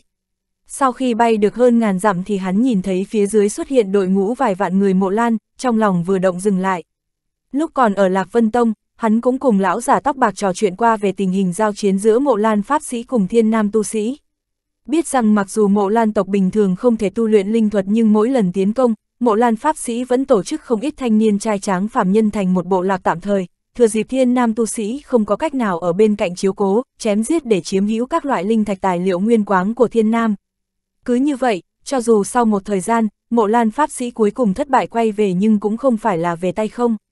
Loại hành động cướp bóc này tự nhiên làm cho cửu quốc minh mắng to không thôi. Nhưng nhất thời cũng không có cách phân tâm về việc này. Dù sao số tu sĩ được phái đi đóng ở đây rất ít, không chống lại được pháp sĩ cấp cao của mộ lan phái. Nhưng nếu phái nhiều tu sĩ đến thì lại ảnh hưởng đến phía chiến trường đang cùng pháp sĩ tranh đấu. Biện pháp khả thi nhất là chờ sau khi các pháp sĩ đó khai thác xong nguyên liệu, quặng mỏ thì lại phái tu sĩ đi đoạt lại, cũng tiện tay đem đám phạm nhân mộ lan tiêu diệt. Đáng tiếc chính là đám mộ lan căn bản không quan tâm đến sống chết của đám phạm nhân, cứ một nhóm bị diệt thì lại có một nhóm khác đi lên, căn bản là dùng mạng người đổi lấy tài nguyên chân quý. Hơn nữa bọn họ lại thường xuyên thiết lập bẫy, gây thiệt hại nặng cho các tu sĩ đến đoạt lại quạng mỏ. Kể từ đó, do tổn thất không ít tu sĩ cửu quốc minh dứt khoát đối với việc này mắt nhắm mắt mở cho qua, và lại chỉ trong thời gian ngắn như vậy, người mộ lan cho dù điên cuồng khai thác thì cũng không có cướp đi được bao nhiêu tư nguyên linh thạch. Chỉ cần nhanh chóng đánh lui đại quân pháp sĩ thì đám phàm nhân mộ lan này cũng sẽ ngoan ngoãn rút đi. Đội ngũ xe châu, xe ngựa này rất nhiều lại đi về hướng thiên nam, bên cạnh đó trong đám người này đa số là thanh niên nam nữ tuổi còn trẻ, hẳn là một bộ lạc nhỏ đi chiếm đoạt tài nguyên của thiên nam. Hàn Lập đứng ở trên đội ngũ này, thần thức cường đại đảo qua một cái, bên trong chỉ có một gã pháp sĩ trúc cơ kỳ ba gã pháp sĩ luyện khí kỳ, không thể uy hiếp đến hắn. Sau khi cúi đầu trầm ngâm một chút, Hàn Lập đột nhiên hai tay bắt quyết, thân hình trên không trung chợt biến mất. Sau một khắc hắn lại xuất hiện trong đám người mộ lan trong chiếc xe ngựa chứa một số đồ cũ nát, bên trong nhồi vào rất nhiều da trâu rách nát cùng một số công cụ khai thác mỏ. Hàn Lập khẽ phất tay, trong xe ngựa hình thành một không gian nhỏ, hắn thoải mái khoanh chân ngồi xuống. Hắn tự nghĩ mình thật sáng suốt, bây giờ toàn thể pháp sĩ người mộ lan đang xuất động nếu một vị tu sĩ như hắn ngang nhiên đi về thiên nam sợ rằng trên đường hơn phân nửa sẽ gặp chuyện không may. Mặc dù lấy tu vi hắn mà nói, trừ phi gặp phải vài tên pháp sĩ đứng đầu ra thì cũng không cần phải sợ. Nhưng chung quy cái gì tránh được thì nên tránh, cho dù lúc đầu bọn hắn có đến 7-8 gã tu sĩ Nguyên Anh mà vẫn phải tìm cách trốn trốn tránh tránh để đi lấy bảo khố. Hơn nữa trừ pháp sĩ bên ngoài, bây giờ hắn cũng muốn che giấu đám người vương thiên cổ để phòng ngừa bọn họ có ý nghĩ tìm hắn diệt khẩu. Bây giờ hắn ẩn giấu trong đám người này, mặc dù đi với tốc độ chậm nhưng chỉ cần qua 2-3 ngày là có thể bình an ra khỏi mộ lan thảo nguyên. Cũng chưa thấy người nào chú ý tới một đội ngũ như vậy. Cho dù có pháp sĩ nào ngẫu nhiên kiểm tra thì lấy tu vi hắn hôm nay mà nói, chỉ cần không phải là pháp sĩ Nguyên Anh hậu kỳ cũng không phát hiện ra. Sau khi đi vào nơi hoang dã ngoài phạm vi thế lực của người mộ lan, thì hắn có thể một mình phản hồi thiên nam. Hiện giờ hắn đang ngồi ngay ngắn trong xe, bên ngoài có vài tên người mộ lan đang nói chuyện với nhau, thanh âm rõ ràng truyền vào trong. Ngôn ngữ của người mộ lan tự nhiên cùng thiên nam yến tộc có chút bất đồng, nhưng Hàn Lập trước chuyến đi này sớm đã thông qua Ngọc Giản học tập một phen. Lấy thần thức cường đại của hắn hôm nay mà nói, học tập mấy thứ này, mặc dù chỉ là ngắn ngủn một hai ngày, nhưng lời nói bên ngoài cũng có thể nghe rõ ràng. Bọn họ đàm luận phần lớn là chuyện chuyến đi thiên nam này liệu có thể đoạt được nhiều hay ít tài nguyên linh thạch, liệu có cơ hội lọt vào mắt xanh của thượng sư để trở nên nổi bật. Từ trong lời nói đó, đám mộ lan phàm nhân này đối với pháp sĩ tràn ngập sùng bái, kính sợ. Thậm chí có thể so với một loại tín ngưỡng tồn tại phảng phất như cho dù vì vị pháp sĩ đó mà chết, thì đối với mộ lan phàm nhân mà nói, cũng là chuyện vinh quang dị thường. Hàn Lập nghe đến đó, ngầm thở dài một hơi, nhưng vung tay một cái, một tầng màu xanh nhạt màn đạm thanh sắc quang cháo đã đem không gian bên trong xe ngựa phong bế toàn bộ. Thanh âm của người mộ lan lập tức biến mất, Ngân Nguyệt, bây giờ thử nói về thu hoạch của ngươi một chút. Có vẻ hưng phấn như thế thì chắc là thu hoạch được không ít thứ tốt. Hàn Lập bất động nhưng tay áo khẽ vung lên, một con tiểu hồ màu trắng từ cổ tay áo bay ra, sau khi xoay một cái thì rơi xuống trước người. Có phải thứ tốt hay không cũng không rõ lắm, chủ nhân hẳn là biết, cổ bảo tầng một mặc dù không ít nhưng bởi vì sau khi thi triển độn thuật thì không cách nào đem linh khí che giấu đi, cho nên không có di chuyển đi đâu được. Nhưng thật ra trên tầng 2 khi các ngươi tranh đoạt cái hộp ngọc, nguyên bổn là có 6 nhưng đã bị lấy đi một nửa. Hi hi, thật ra Ngân Nguyệt Nguyên vốn định đem hơn phân nửa hộp ngọc lấy đi nhưng lại sợ quá ít khiến cho bọn họ hoài nghi thì không hay. Cho nên chỉ lấy đi ba cái tiểu hồ nửa ngồi trồm hổm trên mặt đất, miệng khẽ cười. Tiếp theo há mồm phun ra ba cái hộp ngọc trong suốt vững vàng rơi trước mặt Hàn Lập. Hàn Lập thu hộp ngọc, tay hướng bên hông, một cái hộp ngọc khác giống như đúc xuất hiện ở trong tay. Như vậy thương khôn thượng nhân tổng cộng lưu lại 6 cái hộp ngọc, nhưng trong đó 4 cái đã ở trong tay ta. Lúc này đây cũng nên tính toán một chút hàn lập tay vuốt ve hộp ngọc lãnh đạm cười nói. Bất quá, chủ nhân lá gan của ngươi cũng thật là lớn. Lại làm trò trước mặt nhiều tu sĩ Nguyên Anh như vậy âm thầm ra tay, lấy trước. Không sợ bị phát hiện sao? Ngân Nguyệt nghĩ lại có chút sợ hãi thở dài nói. Hắc hắc, có cái gì mà sợ? Trường hợp xấu nhất thì thi triển huyết ảnh độn chạy trốn. Huống hồ làm như thế, tự nhiên có nắm chắc rồi. Lúc ấy ta phóng thích linh quang dị thường che giấu đưa ngươi đi vào, không phải là đã thành công sao, cũng không có người nào nhận thấy được trong đó có gì kỳ quái. Ban đầu ta có chút lo lắng sau khi ngươi lấy bảo vật thì không có cách nào che giấu thân hình, bị mấy lão quái vật phát hiện sẽ bất diệu. Nhưng bây giờ, độn thuật của ngươi thật thần diệu ngoài tưởng tượng Hàn Lập tự nhiên cười, nâng tay nhìn Bạch Hồ liếc mắt một cái, có thâm ý nói. Chủ nhân cứ nói đùa, Ngân Nguyệt Lang tộc độn thuật mặc dù thần diệu, nhưng chính yếu là do hộp ngọc này có thể che giấu linh khí. Nếu không làm sao có thể giấu giếm được thần thức của mấy lão quái vật Ngân Nguyệt nghe lời này thần sắc không thay đổi, ngược lại cười dài nói. Hàn Lập ôn hòa cười, không có hỏi lại chuyện này, nhưng hộp ngọc đặt ở trên bàn tay đột nhiên chấp động thanh sắc linh quang, tiếp theo năm ngón tay dùng sức, mặt ngoài hộp ngọc hiện ra một tia bạch sắc linh quang, nhưng lập tức đã bị đại lượng thanh quang đè xuống tản ra rồi bị cắn nuốt sạch sẽ. Lại cạch một tiếng, hộp ngọc lại dễ dàng bị mở ra. Bên trong có một cái ngọc giản màu lam nhạt, Hàn Lập nhìn ngọc giản này một chút, sau đó nhẹ thổi một hơi đưa ngọc giản trong tay hơi ngưng trọng đem thần thức đắm chìm vào. Tiểu hồ nhìn khuôn mặt Hàn Lập chằm chằm, hai con ngươi đen nhánh lưu chuyển, bộ dáng cảm thấy hứng thú. Nhưng sau một thời gian, vẻ mặt Hàn Lập không chút thay đổi, Thủy Trung vẫn duy trì vẻ lạnh nhạt. Điều này làm cho Ngân Nguyệt chớp chớp hai mắt, có chút nghi hoặc. Một khắc trôi qua, cuối cùng Hàn Lập thần sắc vừa động đem thần thức thu hồi, cao mày trầm ngâm đứng lên. Nhưng một lát sau hắn nhướng mày, bình tĩnh đã đem ngọc giản cất đi đồng thời cầm thứ lấy hộp ngọc thứ hai, không nói gì về nội dung trong ngọc giản. Ngân Nguyệt trong lòng lòng hiếu kỳ càng tăng lên, như thức thời không có hỏi tới mảy may. Hộp ngọc thứ hai cũng dùng phương pháp đồng dạng mở ra. Lúc này đây, bên trong chính là một chiếc nhẫn tinh xảo lung linh, nhưng đen thui vô quang, có chút không bắt mắt. Đây là cổ bảo, Ngân Nguyệt có chút kinh ngạc hỏi. Không giống, hình như không có bao nhiêu linh khí hàn lập cũng có chút không khẳng định. Theo sau hắn động thân, dùng hai ngón tay dễ dàng đem vật ấy kẹp lại đưa lên trước mắt.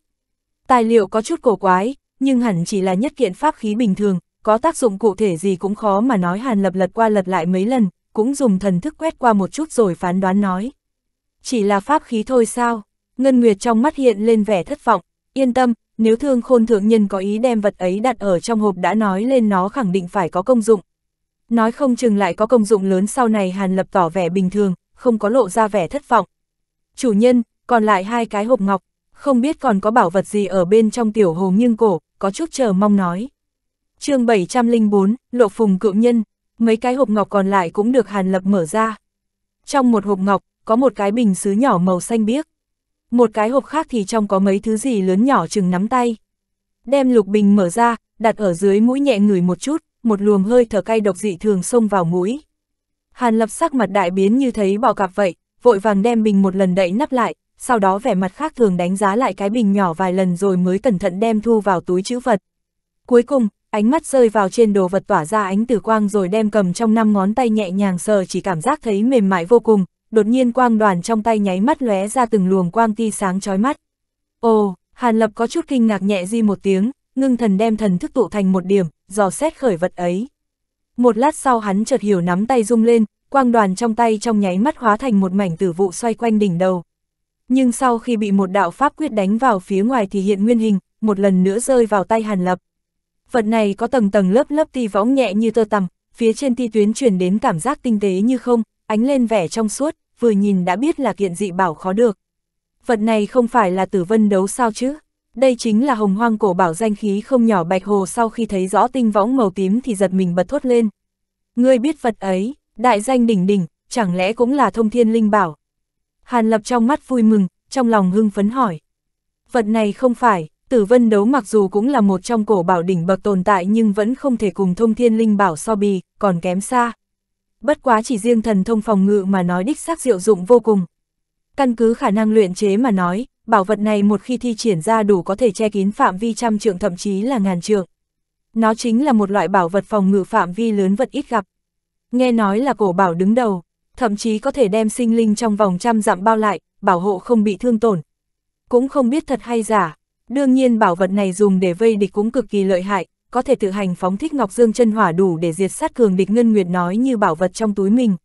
Ngân Nguyệt, ngươi làm sao đối với bảo vật này biết rõ ràng vậy? Chẳng lẽ ngươi trước kia đã nhìn thấy qua Hàn Lập trên mặt vẻ thất vọng thoáng qua nhưng khẽ nghịch tử võng trong tay vẻ mặt cổ quái mà hỏi thăm. Ngân Nguyệt vừa nghe lời này thì lại im lặng một hồi lâu rồi mới cười khổ nói. Chủ nhân nói thế ta mới phát hiện ra những thông tin này còn sót trong ký ức trước khi bị luyện hóa thành khí linh. Hình như có một kiện tử vân cổ bảo như vậy cho nên mới biết rõ ràng thế. Ngân Nguyệt vừa nói trong mắt cũng hiện lên vẻ trầm tư, tựa hồ nhớ tới cái gì.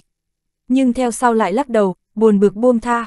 Cái tử vân đấu lợi hại như vậy mà chưa nghe nói qua thương khôn thượng nhân đã từng sử dụng qua bảo vật này để đối địch. Xem ra chắc là đến từ trụy ma cốc, đáng tiếc hơn là trong bốn bảo vật trong hộp ngọc của chúng ta tới lúc mà, vẫn không có tin tức về trụy ma cốc. Xem ra đồ vật có liên quan chắc hẳn là nằm trong hai cái hộp ngọc của Nam Lũng Hầu.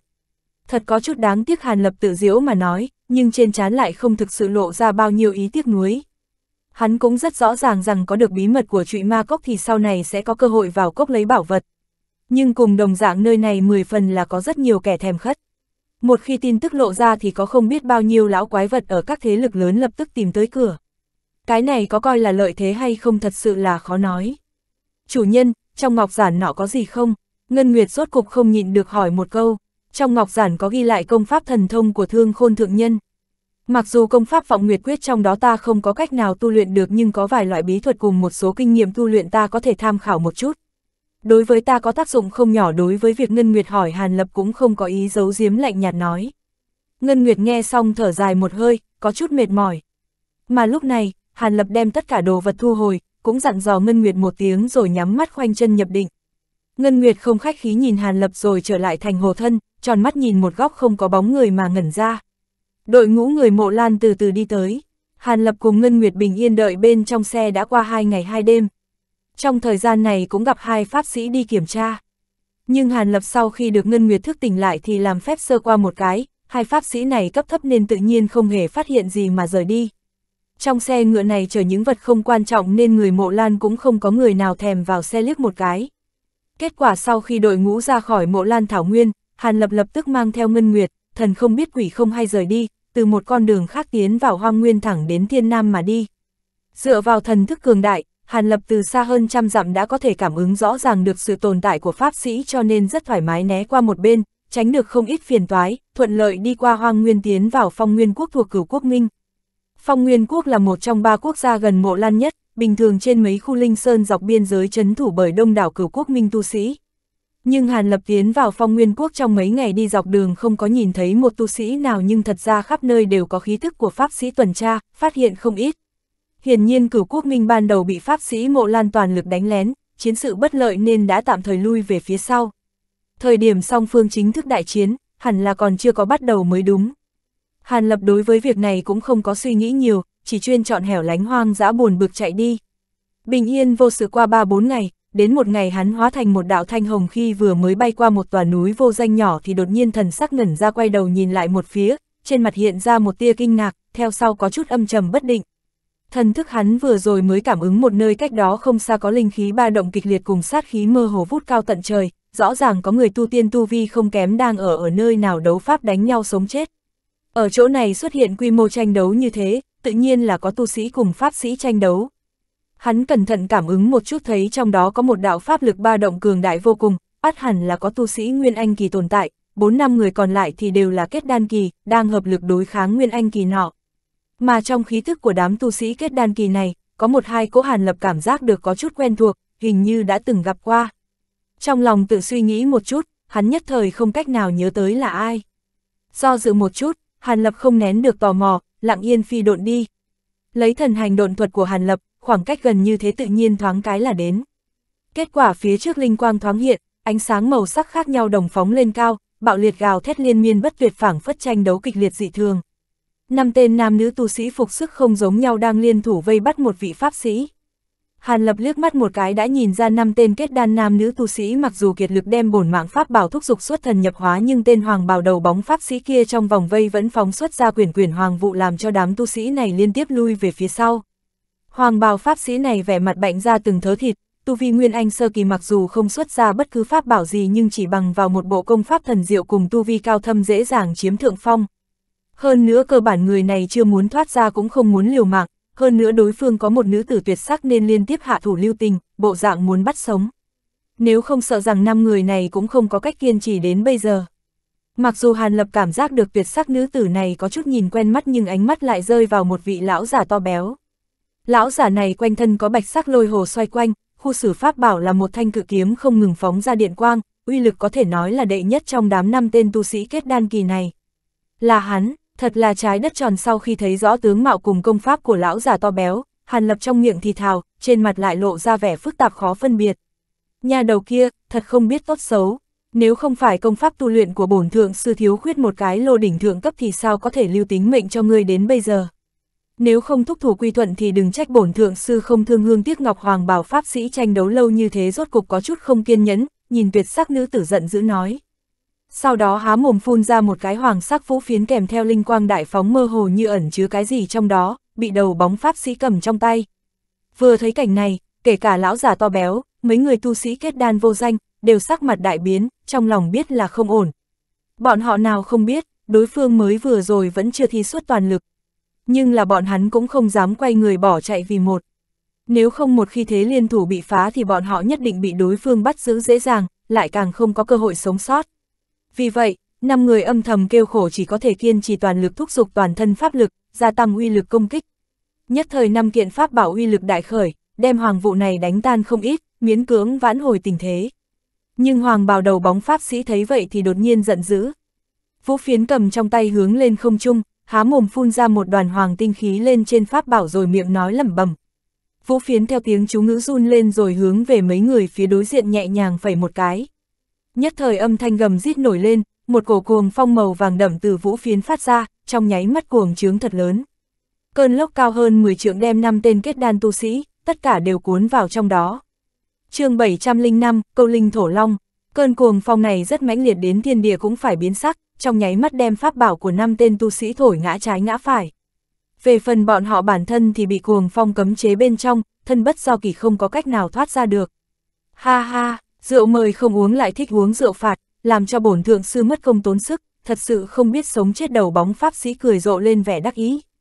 Tiếp theo hắn giơ nắm đấm hướng lên không đánh tới, nhất thời trong cơn lốc trống rỗng bỗng hiện lên một bàn tay to màu vàng, hung hăng hướng tới tuyệt sắc nữ tử trong đó chộp tới.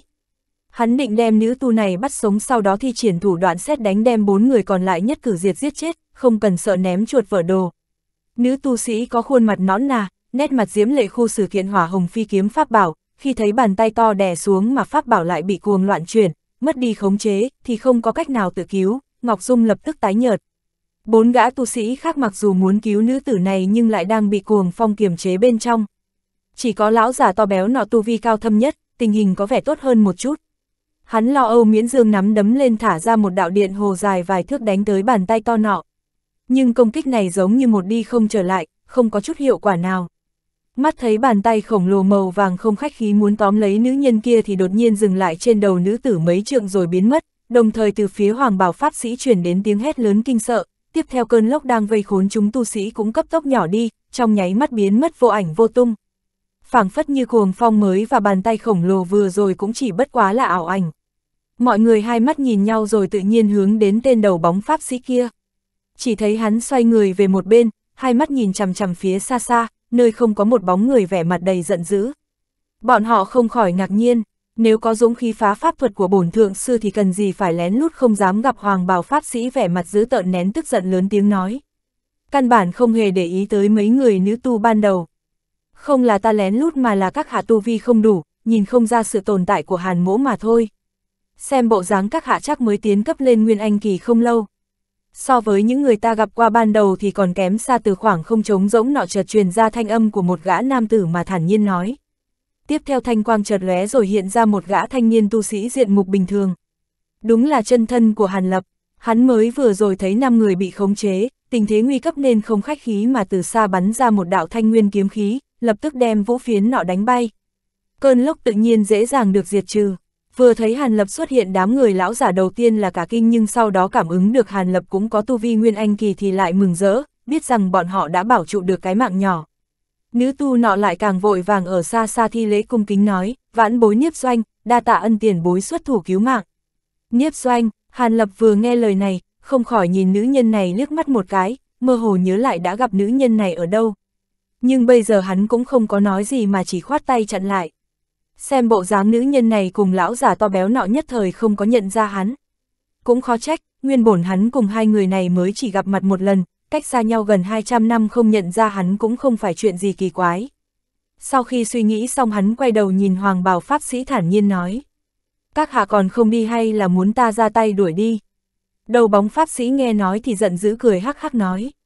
Ha ha, các hạ cũng chỉ là tu sĩ Nguyên Anh sơ kỳ mà thôi, dĩ nhiên khẩu khí to lớn như thế. Đàm mỗ muốn lãnh giáo thần thông của các hạ một chút. Nói xong, đầu bóng pháp sĩ tay bắt quyết, đột nhiên ngón tay hướng về phía đối phương bắn ra. Nhất thời hai quả đạn hoàn vàng tươi chợt lóe lên hướng xuống phía dưới mặt đất bắn nhanh đi. Cử động này làm cho Hàn Lập nao nao, cũng không có ra tay ngăn cản mà hai mắt híp lại lộ ra vẻ hứng thú. Đại hán nhìn thấy cử động của Hàn Lập như thế thì trong lòng mừng rỡ. Lập tức tiếng chú ngữ trong miệng truyền ra, quanh thân Hoàng Vân bắt đầu quay cuồng trong nháy mắt đem pháp sĩ họ đàm bao quanh.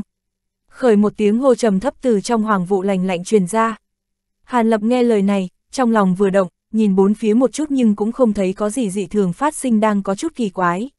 Phía dưới mặt đất đột nhiên truyền lên tiếng ẩm u u nghe như tiếng mặt đất rung lên bạo liệt ra. Hàn Lập đem thần thức hướng xuống phía dưới đảo qua, tiếp theo sau trên mặt lộ vẻ vài phần kinh ngạc.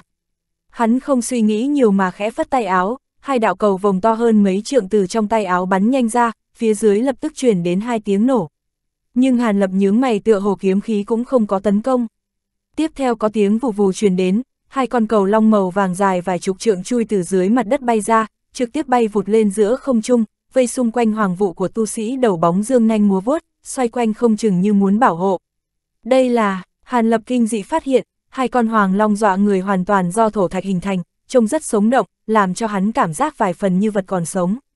Mà khí tức như vật còn sống lại hoàn toàn đến từ hai quả đạn hoàn trên đầu thổ long. Đạn hoàn này nằm trên trán thổ long, sáng lên lập lờ, phát ra yêu dị hoàng mang. Hắc hắc, các hạ trước tiên thưởng thức xem lợi hại của câu linh thú đã. Đi, pháp sĩ trong hoàng vụ càn rỡ cười to nói, tiếp theo lưỡng đạo pháp quyết màu vàng đánh vào trên người thổ long, nhất thời hai con thổ long khí thế hung hăng hướng Hàn Lập trực tiếp đánh tới. Hàn Lập nhướng mày, nhưng lập tức thở dài một hơi. Rồi há mồm, một đoàn kiềm lam băng diễm trực tiếp từ trong miệng phun ra, trên đường đi phân thành hai ngọn lửa thanh mảnh chuẩn xác đánh tới trên đầu thổ long. Sắc một tiếng, hai con thổ long thoáng cái bị phủ thêm một tầng lam doanh băng giáp, hóa thành hai con băng điêu đứng ở phía trước hàn lập mấy trượng phiêu phù bất động. Hai tia chớp màu xanh chợt lóe, phanh phanh, hai tiếng vỡ tan thanh thúy truyền đến. Hai con thổ long băng điêu bị hàn lập phát ra hai đạo kiếm khí, dễ dàng kích nát bấy, sau đó giơ tay lên. Hai quả đạn hoàn màu vàng bị hắn thong dong hút đến trong tay, sau đó thoáng nhìn qua rồi vứt vào trong túi chữ vật. Còn có thần thông gì không, cứ việc thi triển ra đi, Hàn mỗ chân tránh muốn kiến thức một chút linh thuật uy lực chính thức của pháp sĩ các ngươi. Hàn lập thần sắc không thay đổi, trong miệng thản nhiên nói. Pháp sĩ đứng trong trong hoàng vụ đối diện yên lặng tựa hồ việc Hàn Lập dễ dàng phá hủy hai con thổ long như thế, làm cho hắn kinh hãi không nhỏ. Các hạ là trưởng lão ở phái nào, cao tính đại danh là gì?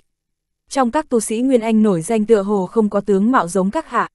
Chẳng lẽ các hạ mới tiến vào Nguyên Anh kỳ trong vòng gần trăm năm trở lại đây? Sau một hồi lâu, trong hoàng vụ truyền ra tiếng trầm thấp của đầu bóng pháp sĩ, thanh âm cũng không thấy được bất cứ ý cản rỡ gì nữa. Tại hạ chỉ là vô danh tiểu tốt, có nói ra các hạ cũng sẽ không biết được. Nếu đạo hữu không có ý định đánh lại thì tại hạ cũng không khách khí hàn lập sắc mặt trầm xuống, ngữ khí lạnh lạnh cất lên. Bàn tay hướng vào túi linh thú bên hông vỗ vỗ, vô số kim quang trói mắt phi trùng từ trong miệng túi bay ra, đúng là đám kim sắc vệ kim trùng do Hàn Lập tỉ mỉ bồi dưỡng ra. Hàn Lập đây là lần đầu chính thức khu xử chúng nó đối địch. Hắn muốn thử xem linh trùng này đối phó với tu sĩ Nguyên Anh Kỳ có tác dụng hay không. Phệ kim trùng, ngươi lại có phệ kim trùng, mà còn có nhiều như vậy. Ngoài ý liệu của Hàn Lập chính là hắn chưa kịp khu xử đám phi trùng này tấn công thì hoàng bào tu sĩ đối diện lại ngay lập tức gọi ra tên phệ kim trùng, trong thanh âm tràn đầy vẻ sợ hãi. Theo sau đám hoàng vụ không nói một lời, quay đầu trong nháy mắt hóa thành một đạo hoàng hồng phá không phi độn rời đi. Tốc độ cực nhanh làm cho Hàn Lập do dự một chút nên buông tha hay là thi triển phong lôi xí đuổi theo. Một gã tu sĩ Nguyên Anh kỳ tại nơi trống trải như thế mà toàn tâm chạy chối chết thì hắn cũng không nắm chắc được bao nhiêu phần làm cho đối phương hình thần câu diệt. Dù sao một khi Nguyên Anh xuất khiếu thì lôi độn thuật cũng muốn kém hơn một chút. Bất quá thì đầu bóng pháp sĩ Tu Vi không tính là cao nhưng có thể nhận ra phệ kim trùng thật sự là ngoài dự liệu của hắn. Trong lòng mặc dù có điểm nghi ngờ nhưng Hàn Lập đem đám phệ kim trùng mới vừa thả ra, chưa kiến công chút nào lần nữa thu hồi vào linh thú túi. Sau đó thần sắc bình tĩnh hướng tới đám lão giả to béo chậm rãi bay đi. Đa tạ đại ân viện thủ của tiền bối. Không biết tôn tính đại danh của tiền bối là gì. Vãn bối hoàng phong cốc lôi vạn hà cảm kích vô cùng. Lão già to béo không chờ Hàn Lập bay gần tới đã vội vàng bay ra trước vài bước thi lễ. Trừ người đã báo qua tính danh là Niếp Doanh ra thì mấy người khác thấy cảnh này cũng đều tiến lên cử đại lễ tham bái. Cự kiếm môn thạch tề vân, yểm nguyệt tông đường minh hoa, thiên khuyết bảo tiến hoàn, bái kiến tiền bối ba người này cơ hồ tất cả đều đồng thanh bái tạ, thoạt nhìn đều lộ ra vẻ mặt kính cẩn cùng cảm kích. chương 706, lôi vạn hạc đích chấn kinh. Tiền bối, hàn lập sờ sờ cầm, mặt hiện vẻ cổ quái. Lão giả mập đúng là vị lôi sư bá đã từng cùng hắn trao đổi phương thuốc lấy linh dược trước kia nhưng không ngờ bây giờ lại gọi hắn là tiền bối. Tuy nhiên dựa theo quy củ của tiên giới thì điều này cũng chỉ là chuyện bình thường mà thôi. Dù vậy nhưng trong lòng Hàn Lập vẫn xuất hiện tư vị khác thường. Về phần nhiếp doanh nữ tử kia, Hàn Lập năm đó đã từng gặp một lần. Nàng ta chính là vị nhiếp sư tỷ đã ra tay bảo vệ hai huynh đệ mộ dung có thuộc tính lôi linh căn. Tuy Hàn Lập không cùng nữ tử này có giao tình gì nhưng đã từng nghe biết được nữ tử này có tư chất hơn người, xinh đẹp trí tuệ. Hồi đó nam đệ tử ái mộ nàng có thể nói là nhiều không đếm xuể. Không nghĩ tới sau mấy năm không gặp, nàng cũng đã kết kim đan thành công. Hàn Lập không nói lời nào, thần sắc phức tạp đánh giá lôi vạn hạc cùng nhiếp doanh, còn trong lòng lôi vạn hạc cũng thầm nghi hoặc. Vị tiền bối trước mắt này chẳng những tuổi còn trẻ, có thuật bảo trì dung nhan hơn nữa hắn có cảm giác khuôn mặt bình thường của đối phương có chút quen mắt, có lẽ đã từng tại gặp qua nơi nào đó rồi. Điều này làm cho hắn không chỉ ngạc nhiên mà có có đôi chút thấp thỏm bất an. Nhiếp doanh mở to đôi mắt đẹp nhìn Hàn Lập, sâu trong mắt cũng lóe lên vẻ kinh nghi. Nàng dường như cũng phát hiện cái gì đó. Hàn Lập tất nhiên sẽ không ngây ra, sau khi mỉm cười liền mở miệng nói. Xem ra ngày đó cách biệt, lôi sư bá thật sự không nhớ tại hạ. Nhưng mà năm đó sư bá tặng phương thuốc khiến cho Hàn mỗ vô cùng cảm kích và vẫn luôn nhớ trong lòng. Sư bá, phương thuốc, ngươi, ngươi là, lôi sư bá vừa nghe Hàn Lập xương sư bá thì nhất thời khiếp sợ há hốc mồm đến nỗi không khép lại được nhưng sau lại nghe về phương thuốc thì đột nhiên nhớ đến điều gì đó, vô cùng kinh hãi lắp bắp. Mấy người kia nghe thế cũng trợn mắt há mồm, vị tiền bối Nguyên Anh kỳ này không ngờ lại xưng hô lôi sư bá với lôi vạn hạc. Điều này khiến cho bọn họ không thể nào hiểu được, chỉ có Niếp Doanh nghe vậy thì giật mình, lại đánh giá Hàn Lập thêm vài phần nữa, khuôn mặt xinh đẹp đại biến nói. Ngươi là đệ tử Lý Sư Thúc Hàn Lập Hàn Sư Đệ. Nữ tử duyên dáng này nói to, khuôn mặt tràn ngập vẻ khó tin. Không tin được Niếp Đạo Hữu vẫn còn nhớ được Hàn Mỗ. Hàn Lập có điểm ngoài ý muốn nói. Hàn Lập hoàn toàn không biết khi hắn còn ở giai đoạn luyện khí kỳ do tu vi thấp nên không ai biết hắn nhưng sau khi từ huyết sắc thí luyện còn sống đi ra, trúc cơ thành công và được Lý Hóa Nguyên nhận làm đệ tử khiến cho không ít người biết tới hắn. Vị niếp sư tỷ này cũng là một trong số đó. Sau khi ma đạo lục tông xâm chiếm Việt Quốc, hắn đánh chết không ít tu sĩ ma đạo đồng cấp nên danh tiếng lại càng vang dội trong tầng lớp tu sĩ cấp thấp. Dù không có ai gặp mặt nhưng hắn đã khiến cho ấn tượng trong lòng vị nhiếp sư tỷ này nâng cao lên vài phần. Dung mạo Hàn Lập hôm nay so với khi ấy là hoàn toàn không thay đổi, hắn chỉ cần khơi mào liền khiến nàng nghĩ tới vị Hàn sư đệ thanh danh không nhỏ năm nào. Do vậy nàng mới không khỏi kinh nghi bật thốt lên, ngươi thật sự là Hàn sư điệt năm đó. Lôi vạn hạc khó khăn nuốt nước bọt, ánh mắt cực kỳ kinh ngạc. Tuy nói trong tu chân giới sự tình gì cũng có thể phát sinh. Đệ tử tư chất hơn người, từ đệ tử tăng lên thân phận như trưởng bối cùng là chuyện bình thường, không hề hiếm thấy nhưng mà một gã sư điệt vốn là tiểu bối trúc cơ kỳ đột nhiên biến thành tiền bối nguyên anh kỳ thì cho dù lôi vạn hạc tự phụ kiến thức hơn người cũng nhất thời không thể nào tin được. Lôi sư bá, không cần kinh ngạc, nơi này không phải là nơi nói chuyện, chúng ta hãy vừa đi vừa nói đi. Hàn Lập nhìn qua bốn phía xung quanh một chút, thần sắc bình tĩnh nói. Việc xưng hô sư bá này, lôi mỗ tuyệt không dám nhận. Hàn tiền bối nếu đã tiến giai vào nguyên anh kỳ thì chính là tiền bối của vãn bối. Mọi chuyện đều nghe theo sự phân phó của tiền bối vậy. Khuôn mặt lôi vạn hạc lúc đỏ lúc trắng, cười khổ một tiếng nói. Trong lời nói vẫn duy trì sự cung kính, không có ý gì khinh thường. Bất luận Hàn Lập trước kia có thân phận gì nhưng tu vi bây giờ của hắn đã cao hơn rất nhiều. Tất nhiên không dám hướng Hàn Lập xưng hô như vậy nữa. Ba tu sĩ kia cũng nghe được vài phần nên hiểu chút ít quan hệ của Hàn Lập cùng lôi vạn hạc, quay mặt nhìn nhau đều lộ vẻ kỳ quái. Hàn Lập thấy vậy nhưng không biểu hiện ra cái gì ngoài ý muốn, chỉ hơi im lặng một chút rồi sau đó cũng khe khẽ gật đầu. Nếu lôi đạo hữu nói như vậy thì Hàn mỗ cũng không khách khí. Bây giờ chúng ta phải lập tức rời khỏi nơi này, tốc độ độn thuật của mọi người hơi chậm, hay là để tại hạ mang theo luôn đi. Nói xong Hàn Lập khẽ vỗ vào túi chữ vật, bàn tay lật lại, có vật gì đó lung linh, xinh đẹp xuất hiện bên trong. Sau khi nhẹ nhàng vung tay, bạch quang chợt lóe hiện ra một thứ hình vuông. Đó chính là ngự phong xa mà Hàn Lập vừa mới lấy được. Hiện tại dưới sự thúc giục của pháp quyết, cỗ xe nhanh chóng biến hình to lên, trở thành hơn 10 trượng. Cùng vào bên trong xe đi, Hàn Lập không khách khí mà phân phó.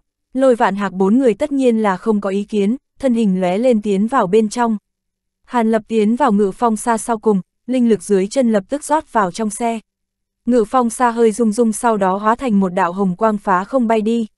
Nó là một pháp bảo có tốc độ vô cùng nhanh mà các loại bình thường không thể so sánh, trong chốc lát đã biến mất vô ảnh vô tung. Thấy tốc độ ngự phong xa như vậy thì tất cả những người khác đều vui mừng. Biết có xe này thì những người khác không thể đuổi theo được. Tảng đá trong lòng mọi người đều tự động giải khai. Các vị đạo hiếu, phong nguyên quốc hoàn toàn đã rơi vào sự khống chế của pháp sĩ cho nên năm người tại sao lại còn xuất hiện tại nơi này. Không những thế lại bị một tên tu sĩ cao cấp chặn đường nữa. Phải hiểu rằng nếu nơi này không phải là một nơi hẻo lánh chắc thì cho dù ta có ra tay cũng không thể dễ dàng giải cứu được mọi người. Hàn lập một mặt điều khiển ngự phong xa đi một mặt tùy ý hỏi. Thân sắc của năm người này sau khi nghe xong câu hỏi đều liếc mắt nhìn lôi vạn hạc. Hiển nhiên hắn chính là người cầm đầu cả nhóm. Lôi vạn hạc trần trừ một lát mới lên tiếng. Tiền bối có điều không biết, mấy người chúng ta đều thân bất do kỷ. Bản thân ta vốn phụng mệnh liên minh mà phải đi làm một nhiệm vụ vô cùng trọng yếu. Kết quả bị chậm vài ngày ở một nơi, từ sau khi đi ra liền biết phong nguyên quốc đã bị người mộ lan xâm nhập. Bất sắc dĩ không còn cách nào là tìm một nơi vắng vẻ dùng độn thuật trở về. Trên đường trở về gặp vài tên tu sĩ cấp thấp không thể không giết người diệt khẩu. Ai ngờ ở gần đó có một pháp sĩ Nguyên Anh Kỳ. Sau khi giết chết tên tu sĩ cấp thấp cuối cùng thì bị lão phát hiện đuổi giết. Dù biết là không đủ khả năng chống lại lão nhưng nếu phân chia nhau ra chạy trốn thì càng chết nhanh hơn. Cho nên mấy người liền liều mạng chống cự, nếu không phải gặp được hàn tiền bối thì sợ rằng chúng tôi khó mà sống sót. Lôi vạn hạc một bên nói lời cảm kích, một bên đánh giá vị hàn sư chất này vài cái. Nói thật cho tới tận bây giờ mọi việc xảy ra trước mắt đều khiến cho hắn giống như đang nằm mơ giữa ban ngày vậy. Hàn Lập nghe xong cũng không có hứng thú truy vấn tiếp mà chỉ thản nhiên ừ một tiếng.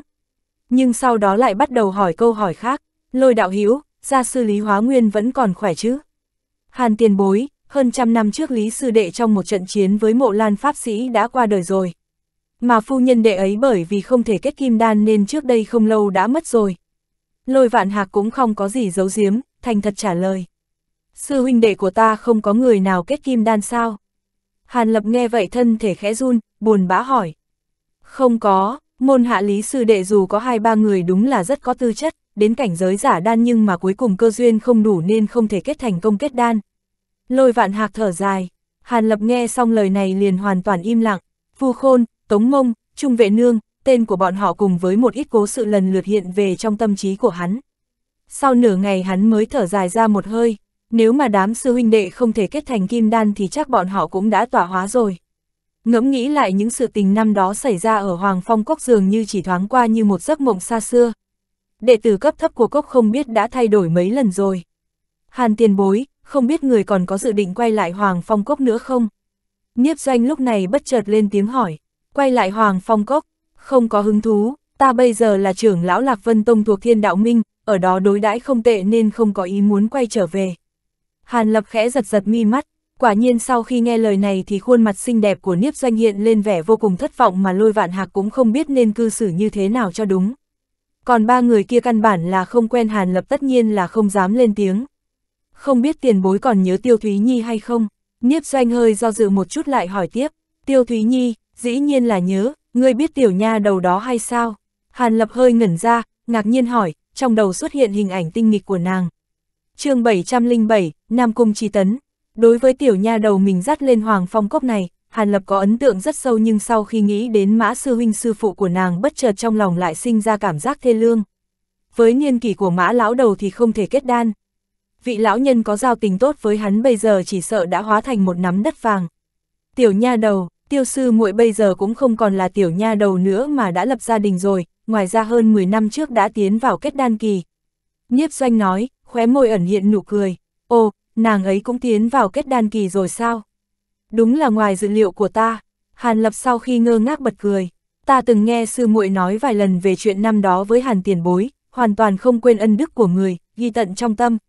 Nhiếp doanh dịu dàng nói, ta năm đó mang nàng vào sơn môn cũng chỉ là do tư chất của nàng ta không tồi, nhất thời cao hứng mà thôi. Hiện nay cảnh còn người mất, còn gì để lưu luyến. Nụ cười trên khuôn mặt Hàn Lập biến mất, bình thản nói. Thấy khuyên như vậy mà Hàn Lập hoàn toàn không còn ý quay về Hoàng Phong Cốc nên Niếp Doanh cùng lôi vạn hạc cũng chỉ còn biết nhìn nhau cười khổ. Đối với nguyên nhân tại sao Hàn Lập không muốn trở về, cả hai đều thông minh nên tất nhiên là đoán được 7, 8 phần. Năm đó đệ tử hạch tâm trốn vào cửu quốc minh không có mặt Hàn Lập ở trong đó. Tên trúc cơ nhỏ nhoi ngày nào bây giờ lại thành Hàn tiền bối đã bị bỏ rơi, đưa ra làm tốt thí dương đông kích tây mà thôi. Khó trách đối phương vô cùng lạnh nhạt với Hoàng Phong Cốc, hoàn toàn không có chút ý tứ trở lại. Khi hai người bất đắc dĩ thì Hàn Lập chìm trong im lặng đột nhiên lên tiếng hỏi một tu sĩ của Yểm Nguyệt Tông. Yểm Nguyệt Tông các người có phải có một nữ tu sĩ gọi là Nam Cung Uyển hay không? Nàng hiện nay như thế nào? Âm thanh Hàn Lập có chút trầm thấp, tiền bối biết Nam Cung Sư Thúc. Hiện nay Sư Thúc đang tỏa chấn tại bản môn, tất cả đều rất tốt. Đầu tiên tu sĩ tên là Đường Minh Hoa hơi ngẩn ra nhưng sau đó liền cung kính đáp lời. Sư Thúc, nàng cũng đã lên Nguyên Anh Kỳ. Hàn Lập kinh ngạc, trong giọng nói không che giấu chút vui mừng. Hơn trăm năm trước Nam Cung Sư Thúc đã kết Nguyên Anh thành công. Hôm nay Nam Cung Sư Thúc cũng là một trong những vị trưởng lão của bổn môn, tiền bối là người quen cũ của Nam Cung Sư Thúc sao. Trung niên tu sĩ bộ dáng vô cùng ân cần, giải thích rõ ràng. Với hắn mà nói có cơ hội kết giao cùng một tu sĩ Nguyên Anh Kỳ thì sau này sẽ thu được nhiều chỗ tốt. Người quen cũ, cũng có thể nói như vậy.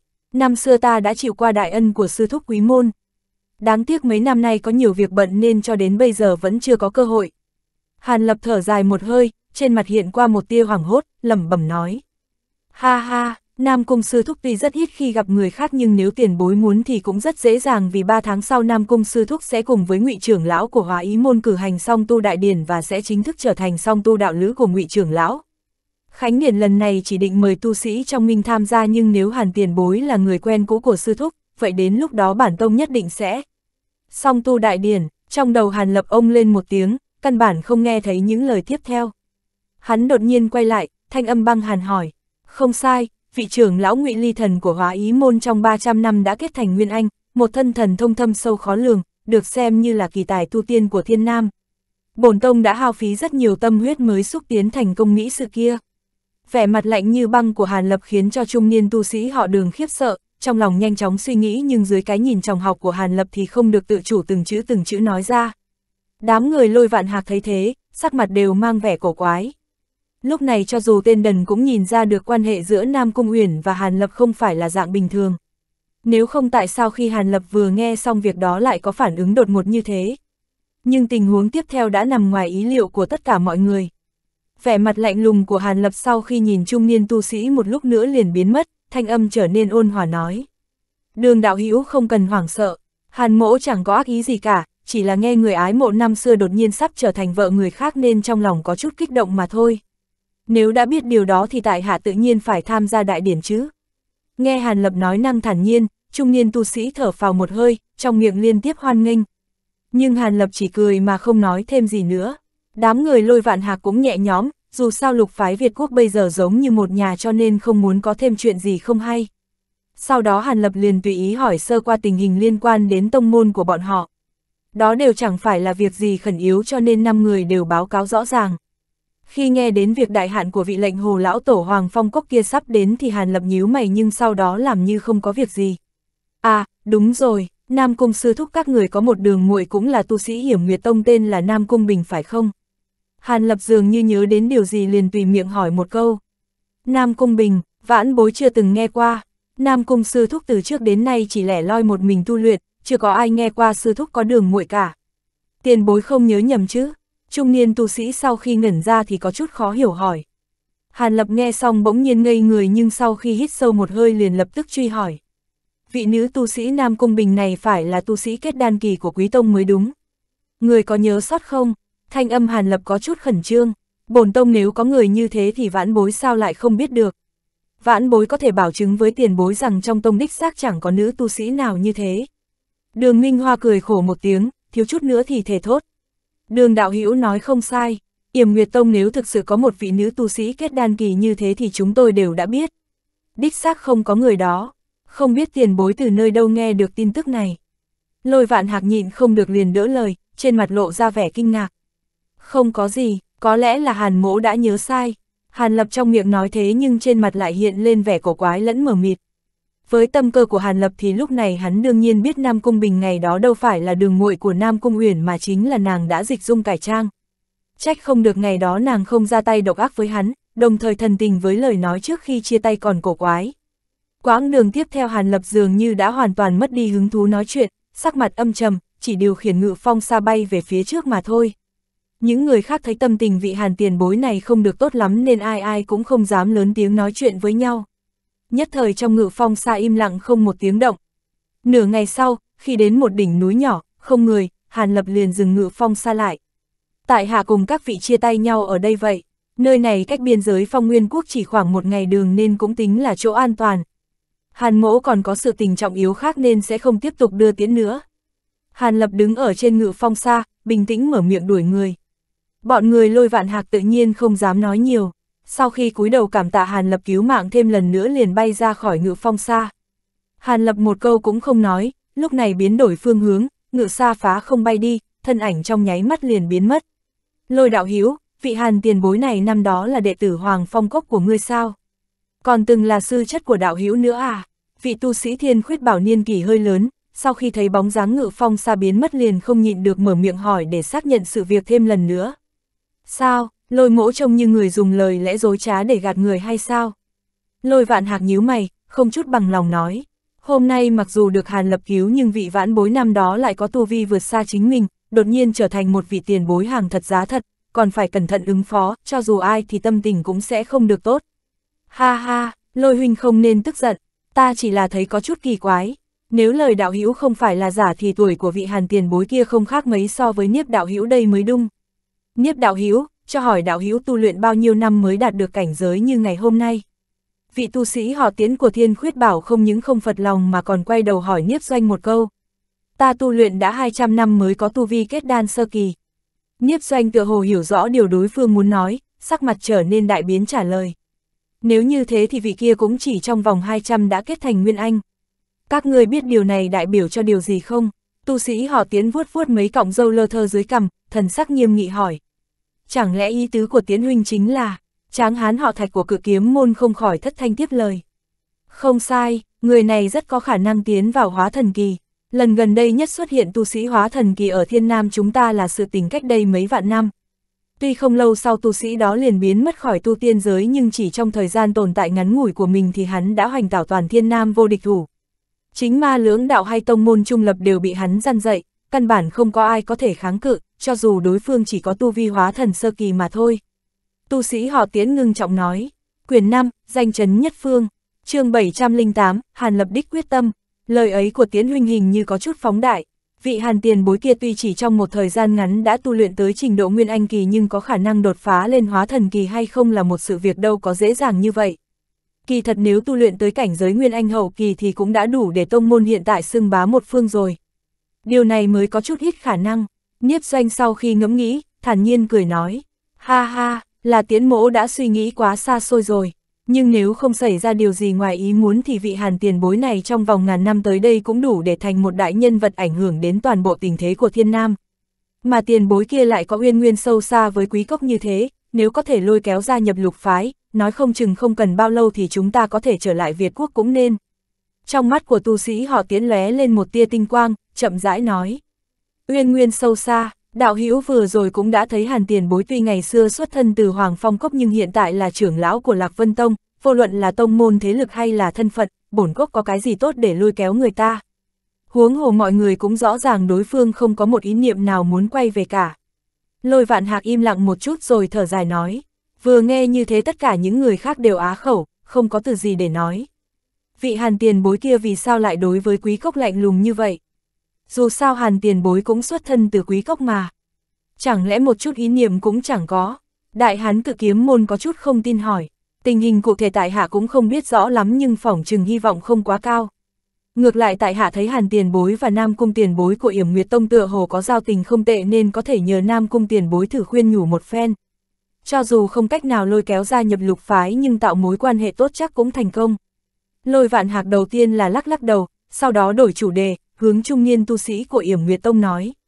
Cái này, có thể sao? Vị hàn tiền bối với Nam Cung sư thúc cụ thể có giao tình kiểu gì thì tại hạ phải trở về tông nội hỏi một chút mới biết được. Đường Minh Hoa có chút không tin trả lời. Được rồi, việc lôi kéo tu sĩ Nguyên Anh Kỳ cũng không phải người như chúng ta có thể làm chủ được. Tất cả đều giao cho mấy vị trưởng lão xử lý đi. Chắc ba tháng sau vị hàn tiền bối kia sẽ xuất hiện tại song tu đại điển. Chúng ta nên nhanh chóng trở về cửu quốc minh đi, đây cũng không phải là chỗ an toàn gì cả. Lôi vạn hạc đột nhiên nhìn quanh vài lần rồi nhíu mày đề nghị. Những người khác nghe thấy thế nên cũng không ai có tâm tư bàn luận về chủ đề trên nữa. Lúc này năm người hóa thành năm đạo hào quang nhanh chóng bay đi. Tuy lôi vạn hạc ngoài miệng nói năng nghe dễ dàng nhưng trong lòng lại âm thầm phát dầu. Hắn làm thế nào để nói rõ việc này với vị lệnh hồ lão tổ kia đây? Chẳng lẽ trực tiếp bảo một vị đệ tử bị lão bỏ rơi trước kia ngày hôm nay đã trở thành một sự tồn tại không hề thấp kém hơn lão, đồng thời vị kia vì việc năm xưa mà một bụng vẫn tràn đầy bất mãn sao? Đấy chẳng phải là trực tiếp chỉ trích chính vị sư bá của mình ư. Lôi vạn hạc chỉ có thể bất đắc dĩ thở dài vài lần, sau đó im lặng nhanh chóng bay trở về. Bởi vì ngự phong xa thực sự quá bắt mắt nên sau khi Hàn Lập bay đi một đoạn cho đến khi không thấy hình ảnh của đám người lôi vạn hạc nữa liền không nhanh không chậm thu nó lại, sau đó chỉ dùng độn quang bình thường. Hôm nay đột nhiên biết được tin tức của Nam Cung Uyển, đồng thời còn là một tin tức xấu nên hiện tại hắn phải bình tĩnh ngẫm nghĩ một phen. Năm đó tuy hắn cùng nàng Xuân Phong nhất độ và gặp gỡ hai lần nhưng bởi vì tu vi, thân phận quá khác biệt nên chỉ xem nhau như người qua đường, chẳng có chút tình ý nào đáng nói. Nhưng không biết từ bao giờ trong nhận thức của mình, Hàn Lập sớm đã xem Nam Cung Uyển là nữ nhân của hắn. Đặc biệt sau khi hắn trước sau kết thành Kim Đan và Nguyên Anh thì tự nhận mình đủ điều kiện phối xứng với nàng, cho nên trong lòng càng không có một chút nghi hoặc gì về điều đó cả. Do đó mà vừa rồi khi nghe tin Nam Cung Uyển sắp trở thành đạo lữ song tu của người khác thì hắn thiếu chút nữa thất thố. Ra vẻ không biết và trơ mắt nhìn nàng trở thành vợ người khác, Hàn Lập chẳng cần nghĩ cũng không thể buông bỏ, để cho sự tình diễn ra được. Đời này nam tử có thể lấy nàng làm vợ chỉ có một và chỉ một mình hắn mà thôi. Huống hồ Hàn Lập cũng không tin một điểm cảm giác nàng ấy cũng không có đối với hắn người đã nhận được cái quý giá nhất của đời người con gái. Hắn sẽ không để Khánh Điển 3 tháng sau được diễn ra thuận lợi. Hiện tại hắn suy nghĩ chính là không nên để ý đến cái gì cả, trực tiếp tới Yểm Nguyệt Tông rồi len lén đem Nam Cung Uyển đi hay là đợi Khánh Điển chính thức bắt đầu vào 3 tháng sau rồi mới tìm tới cửa. Hai cách này rõ ràng đều có chỗ lợi, chỗ hại riêng. Phương pháp đầu tiên tuy dễ dàng thực hiện nhưng hắn thực sự rất khó đảm bảo rằng Nam Cung Uyển sẽ không nói một lời nào rồi cùng trốn đi với hắn. Dù sao nàng cũng ở Yểm Nguyệt Tông đã nhiều năm, nay lại còn là trưởng lão nên khó có khả năng không hề có chút băn khoăn về việc im lặng rời đi.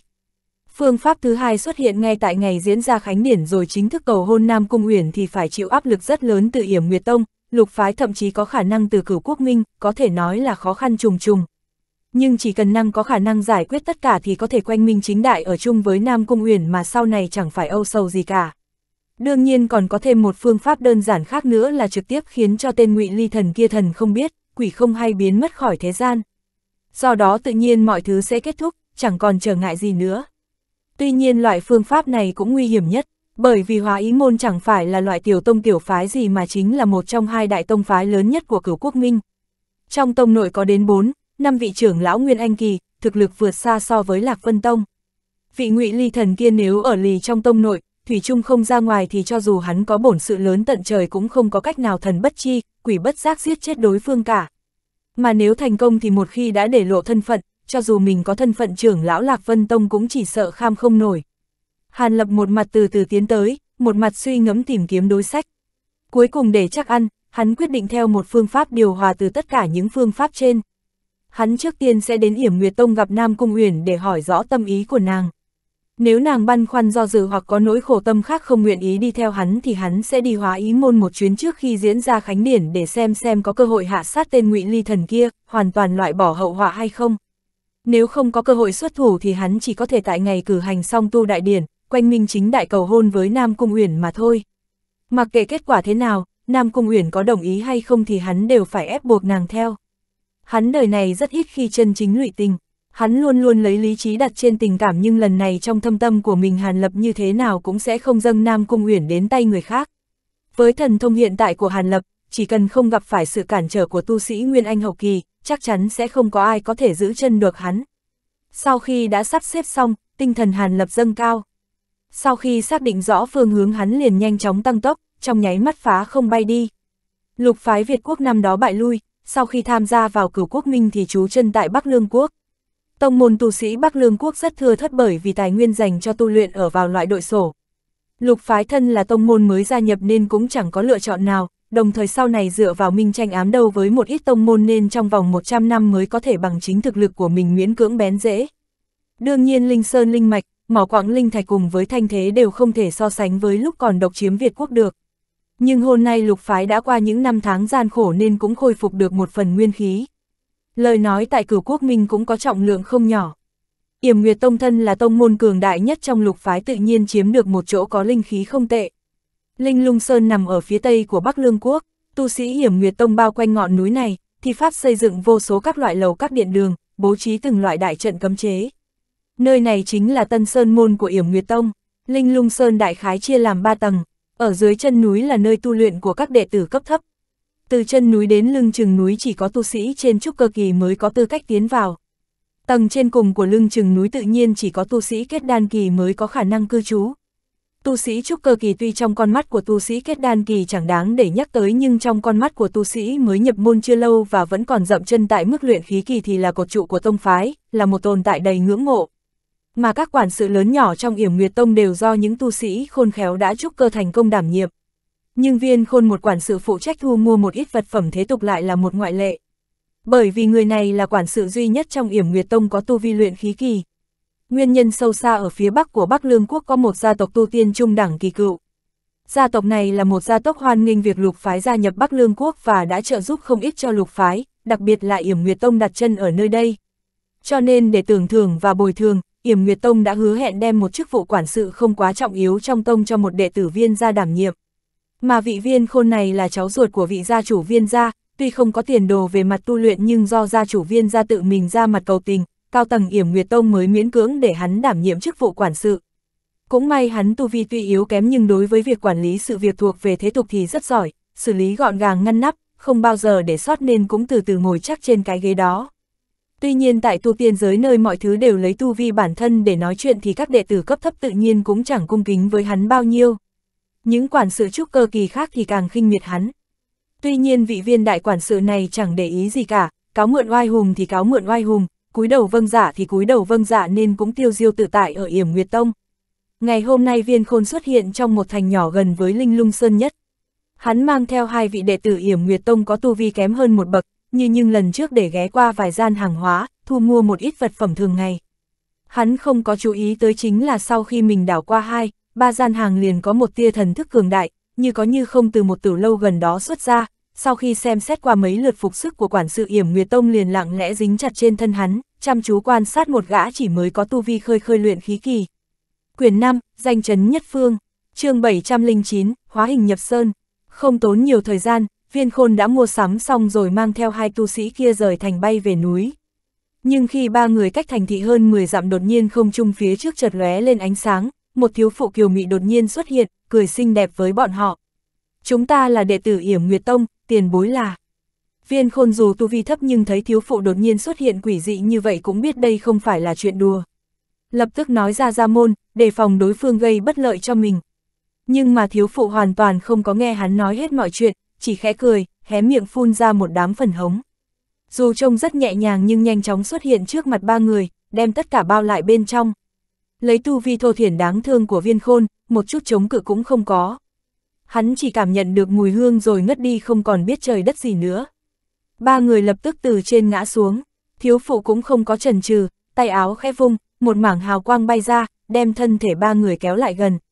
Sau khi liếc mắt nhìn bọn họ một cái, thân hình nàng liền hóa thành một đạo ngân quang bay đi, trong chốc lát hoàn toàn biến mất. Sau khi ánh sáng độn quang hơn 10 dặm thì hạ xuống một cánh rừng hoang dã không người. Trong rừng đang có một thanh niên mặc áo xanh đang nhắm mắt, xếp bằng ngồi dưới một cây đại thụ để dưỡng thần. Bạch quang bỗng nhiên lóe lên trước mắt, xuất hiện thân ảnh của thiếu phụ xinh đẹp và ba người viên khôn. Thiếu phụ nhẹ nhàng tiếp đất, hướng thanh niên cung kính nói. Chủ nhân, người đã được mang đến. Hắn cũng nói là người của Yểm Nguyệt Tông, chắc không có lầm người. Có kinh động người khác không? Thanh niên mở mắt lạnh nhạt hỏi. Hắn tự nhiên chính là Hàn Lập người đã chạy suốt không ngừng nghỉ trong nửa tháng để đến được Bắc Lương Quốc này. Một khi đã định len lén đi tìm Nam Cung Uyển thì hắn tất nhiên sẽ không đường Hoàng Bái Sơn để tránh một số rắc rối không cần thiết. Vì phải biết một chút ít nội tình cụ thể của Yểm Nguyệt Tông trên Linh Lung Sơn này nên hắn liền nghỉ ngơi một ngày tại Tiểu Thành để tìm kiếm tu sĩ Yểm Nguyệt Tông. Bởi vì Hàn Lập đã từng trải qua giai đoạn từ cấp thấp đến cấp cao nên hiểu được những tu sĩ cấp thấp không có cách nào hoàn toàn thoát ly thế cục. Trong thành trấn cách tông môn gần nhất sẽ có những đệ tử cấp thấp xuất hiện. Lấy thần thức cường đại của Hàn Lập, trong thành có bao nhiêu tu sĩ tất nhiên không nằm ngoài phạm vi cảm ứng của hắn. Vốn Hàn Lập nhìn chúng một thanh niên đệ tử Yểm Nguyệt Tông có tu vi luyện khí kỳ khác nhưng sau khi quản sự viên khôn xuất hiện thì Hàn Lập tự nhiên thay đổi mục tiêu. Đệ tử có địa vị cao hơn tất nhiên sẽ biết nhiều hơn một chút. Đem một tia thần thức dính tại người viên khôn rồi sau đó sai Ngân Nguyệt ra chờ ba người bọn họ. Hắn chỉ việc tại nơi này chờ đợi, chủ nhân yên tâm, với tu vi của ba người thì nô tỳ ra tay vô cùng gọn gàng. Tuyệt không có chuyện bị người khác phát hiện. Ngân Nguyệt hình như hiểu rõ Hàn Lập tâm trạng không vui vẻ nên cũng không dám nói đùa mà thành thật trả lời. Ừm, lần này ngươi làm rất tốt, ngươi hãy đem huyễn thuật của mình phối hợp cùng với mộng dẫn thuật của ta để moi hết ra những thông tin đi. Hàn Lập lạnh lùng nhìn viên khôn một cái rồi nói, tuân mệnh chủ nhân, Ngân Nguyệt lập tức ứng tiếng. Sau đó nàng quay người lại, trong miệng lại phun ra sương mù màu đỏ, đem thân ảnh ba người trên mặt đất bao lại. Hàn Lập chậm rãi đứng dậy đi vào bên trong đám sương mù. Không lâu sau trong sương mù có ánh quang chấp động, Linh Lung Sơn dù có tên là Linh Lung nhưng nếu có ai lần đầu tiên nhìn thấy nó thì chẳng thấy hai từ này thể hiện ra ở chỗ nào cả.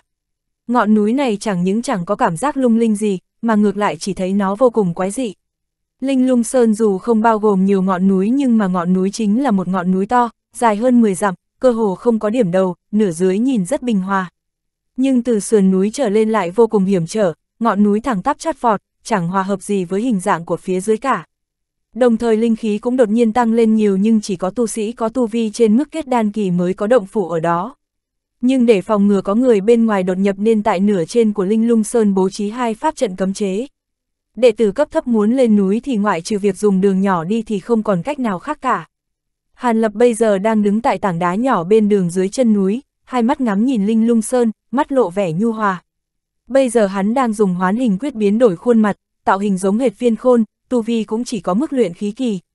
Hắn sau khi thu thập xong thông tin từ ba người viên khôn thì chế trụ ba người ném vào bên trong một thân cây khô, sau đó thản nhiên hướng bay về phía Linh Lung Sơn. Thông qua lệnh bài quản sự trên người viên khôn, lấy được tin xong hắn dễ dàng trà trộn vào bên trong Yểm Nguyệt Tông. Chỗ hiện tại hắn đang đứng chính là một góc của phường thị trong Linh Lung Sơn do Yểm Nguyệt Tông kiến thiết để đệ tử trong tông trao đổi những thứ cần thiết. Ở đây có một vài thương điếm bán vật phẩm của thế tục giới do chính vị viên đại quản gia này phụ trách. Hàn Lập cũng không có vội vã tiến lên đỉnh núi mà không chút lo lắng mang những thứ viên khôn đã sắm tới cửa hàng tống khứ đi. Sau đó khi tên điếm chủ cung kính tiến đưa, hắn mới rời đi khỏi khu phố hướng về đỉnh núi. Dựa theo ký ức của ba tên đệ tử kia thì Nam Cung Uyển bởi vì sắp lập gia đình nên không có bế quan tu luyện. Dù thế muốn gặp cũng không có dễ dàng. dù là đệ tử cấp cao có muốn gặp vị sư thúc này cũng rất khó khăn. Về chuyện tại sao Nam Cung Uyển lại đáp ứng làm đạo lữ song tu của Ngụy Ly Thần thuộc hóa ý môn thì ba người này tu vi quá thấp nên hoàn toàn không biết. Điều này khiến cho Hàn Lập hơi thất vọng, nhưng từ trí nhớ của ba người Hàn Lập biết được Nam Cung Uyển chính là nữ tu sĩ Nguyên Anh kỳ trẻ nhất của Yểm Nguyệt Tông, thiên tư quốc sắc, cực kỳ xinh đẹp nên các đệ tử cấp thấp rất sùng bái, thậm chí có không ít nam đệ tử còn âm thầm ái mộ nàng. Mà viên khôn cũng là một trong số đó. Tuy trong thời gian hơn 10 năm ở trong tông môn chỉ gặp được Nam Cung Uyển khoảng 2, ba lần nhưng viên khôn cực kỳ ái mộ nàng. Việc Nam Cung Uyển lấy người khác còn khiến hắn đau lòng không thôi. Hàn Lập sau khi biết được điều đó thì không biết nói gì. Sau khi tống khứ hết đồ vật, dựa theo ký ức của viên khôn, Hàn Lập làm như bình thường, xử lý một vài việc nhỏ nhặt. May mà quan hệ trong tông của vị quản sự này không tốt. Hắn không giao hảo thâm sâu với người khác nên Hàn Lập thực hiện mọi việc mà không để lộ ra sơ hở gì cả. Nửa ngày sau khi Hàn Lập nhìn trời bắt đầu tối, hắn cảm thấy đã đến lúc. Theo trí nhớ viên khôn, hắn bình thản tiến lên núi. Tu vi viên khôn chỉ là luyện khí kỳ nhưng với thân phận quản lý trong tông nên hắn có lầu các cư ngụ bình thường ở tầng 2 của Linh Lung Sơn. Đương nhiên chuyện động phủ chẳng phải là việc chính. Hàn lập giả trang viên khôn, không chút phiền toái tiến vào tầng 2. Nhưng dọc đường đi gặp vài tu sĩ trúc cơ kỳ, sau khi nhìn thấy viên khôn do Hàn lập giả trang thì vẻ mặt vô cùng khinh thường. Thậm chí một số còn không thèm nhìn hắn nữa. Điều này khiến cho Hàn lập khi không có ai chỉ còn biết cười khổ không thôi. Xem ra vị quản sự này ngoại trừ vài thủ hạ bên người thì căn bản là không được xem trọng. Tất nhiên sau khi tiến vào tầng 2 Hàn Lập cũng không có về chỗ cư ngụ mà là trực tiếp ngự khí bay thấp hướng về đỉnh núi. Tuy bầu trời ở đây nhìn như chẳng có gì nhưng mà Hàn Lập biết chắc chắn có thiết hạ cấm chế lợi hại. Hắn cũng không muốn động chạm đến. Kết quả tại ranh giới giữa tầng 2 và tầng 3, hắn bị hai gã tu sĩ trúc cơ kỳ không chút khách khí ngăn lại. Viên khôn, ngươi tới đây làm gì? Ngươi phải biết đây không phải là nơi ngươi nên đến. Một tu sĩ có khuôn mặt trắng nõn nhướn mày quát to. Khởi bẩm hai vị sư thúc, sư điệt muốn gặp Nam Cung sư tổ một chút. Không biết sư thúc có thể bẩm báo giúp hay không? Hàn Lập Trần trừ nửa ngày mới lắp ba lắp bắp nói. Ngươi nói cái gì, viên khôn, đầu óc ngươi có vấn đề hả? Tự nhiên muốn gặp Nam Cung sư tổ là sao? Nằm mơ giữa ban ngày hả? Vừa nghe thấy lời này của Hàn Lập, hai gã tu sĩ kia bị dọa giật nảy mình, không cần suy nghĩ quát to. chương 710, Nam Cung Uyển, nhưng lần này khi sư điệt xuống núi mua đồ, trong lúc vô ý gặp một vị tiền bối tu vi vô cùng cao thâm. Hắn muốn sư chất giao một món đồ cho Nam Cung sư tổ, còn hạ cấm chế trên người ta. Tiền bối còn nói là chỉ có Nam Cung sư tổ mới có thể giải trừ. Hàn Lập trong nháy mắt tạo ra vẻ bi thảm nói, tiền bối, là tu sĩ kết đan kỳ, tu sĩ trắng trẻo nghe thế thì ngẩn ra, kinh nghi hỏi. Cái này sư điệt không biết, tiền bối ấy tự xưng là bạn cũ của Nam Cung sư thúc. Nghe nói ngày mừng của sư tổ ngày càng gần nên mới đưa lễ vật đến. Đồng thời có mấy câu muốn sư điệt trực tiếp chuyển cho sư tổ. Hàn lập khuôn mặt uể oải, có chút bất đắc dĩ. Bạn cũ sư thúc tổ, lẽ nào là vị tiền bối nguyên anh kỳ kia? Lần này vị tu sĩ bộ dáng vạm vỡ khác lần đầu tiên lên tiếng tỏ vẻ kinh ngạc. Cũng có khả năng, nhưng nếu vị tiền bối kia đã đến đây thì tại sao không tự thân mình mang lễ vật lên núi? Tu sĩ trắng trẻo sau khi chấn kinh, có chút khó hỏi nói. Chuyện này ai mà biết, có lẽ là tiền bối có chuyện gì quan trọng hoặc là không thuận tiện. Viên sư điệt, tới đây cho ta xem qua cấm chế trên thân thể ngươi. Tu sĩ thô kịch phỏng đoán, không chút khách khí hướng Hàn Lập ra lệnh. Hàn Lập đối với chuyện này đã đoán trước nên cũng không có lo lắng. Hắn giơ tay ra, linh lực trong cơ thể phát động mô phỏng ra một loại cấm chế cổ quái. Sau khi tu sĩ kia nắm lấy tay Hàn Lập thì trên mặt lộ ra vẻ kinh hãi. Tu sĩ trắng trẻo kia thấy vậy cũng đem hai ngón tay đặt lên tay Hàn Lập. Sắc mặt hắn đại biến. Không sai, trong cơ thể ngươi có cấm chế lợi hại. Xem trình độ phức tạp của nó có lẽ tám phần là do tu sĩ Nguyên Anh kỳ tạo nên. Nhưng nếu chỉ dựa vào điều này hai người chúng ta cũng không thể dễ dàng cho người lên núi. Đem lễ vật kia ra đây, ta sẽ giúp người chuyển giao, xem xem người đó có phải là bạn cũ của Nam Cung Sư Tổ không rồi mới nói. Nếu Sư Tổ biết đồng thời muốn gặp ngươi thì ngươi mới có thể lên núi. Viên Sư Điệt, ngươi đã rõ rồi chứ? Tu sĩ trắng trẻo nói, thân sắc ngưng trọng nhưng chậm rãi nói. Hàn Lập nghe xong, mặt mày ra vẻ khổ sở nhưng sau khi ngẫm nghĩ lại cũng gật đầu. Như vậy cũng tốt nhưng mà sư thúc nhất định phải nói rõ ràng cho sư tổ biết trên người sư điệt có cấm chế. Hàn Lập từ túi chữ vật bên hông lấy ra một cái hộp gỗ thật dài đưa cho hắn. Bộ dáng rất lo lắng, trên nắp hộp có dán một lá phủ cấm chế màu bạc. Từ linh khí ba động mà xem thì dường như nó không phải là loại bình thường. hiển nhiên là phòng ngừa người chuyển giao nhìn trộm. Biết rồi, ngươi chờ ở đây đi. Mã sư đệ, ta đi chút sẽ quay lại. Tu sĩ trắng trẻo nhìn Hàn Lập nói và dặn dò người còn lại. Sau đó tay cầm hộp gỗ ngự khí bay đi. Hàn Lập chỉ có thể đứng tại chỗ chờ đợi. Hắn dù tin rằng khi Nam Cung Uyển nhìn thấy vật trong hộp sẽ triệu kiến hắn nhưng việc tới trước mắt vẫn làm cho Hàn Lập trong lòng thấp thỏm bất an. Hắn câu có câu không ứng phó những câu hỏi khác của tu sĩ trúc cơ kỳ còn lại nhưng khi tu sĩ vạm vỡ kia hỏi về vị tiền bối tặng lễ vật thì Hàn Lập nhanh chóng trả lời rằng đối phương đội mũ che mặt, ngay cả nam nữ cũng không nhìn rõ. Sau khi đợi một lúc khoảng bằng thời gian một bữa cơm, tu sĩ trắng trẻo rút cuộc cũng quay trở lại. Nam Cung Sư Tổ nói rằng người đó đích xác là bạn cũ của người. Người có thể theo ta đi gặp Sư Tổ, thuận tiện giải luôn cấm chế trên người ngươi. Tu sĩ nói rất rõ ràng, sau mấy câu ngắn ngủi liền bảo Hàn Lập ngự khí đi theo. Trong lòng Hàn Lập vô cùng mừng rỡ, ép mặt lộ ra vẻ vô cùng kích động, theo sát sau tu sĩ kia để lên núi. Cẩn thận, ngàn vạn lần không nên đi ra khỏi hai bên đường, cấm chế nơi này lợi hại hơn so với trung tầng rất nhiều. Cho dù là ta nếu lọt vào cũng không có đường sống.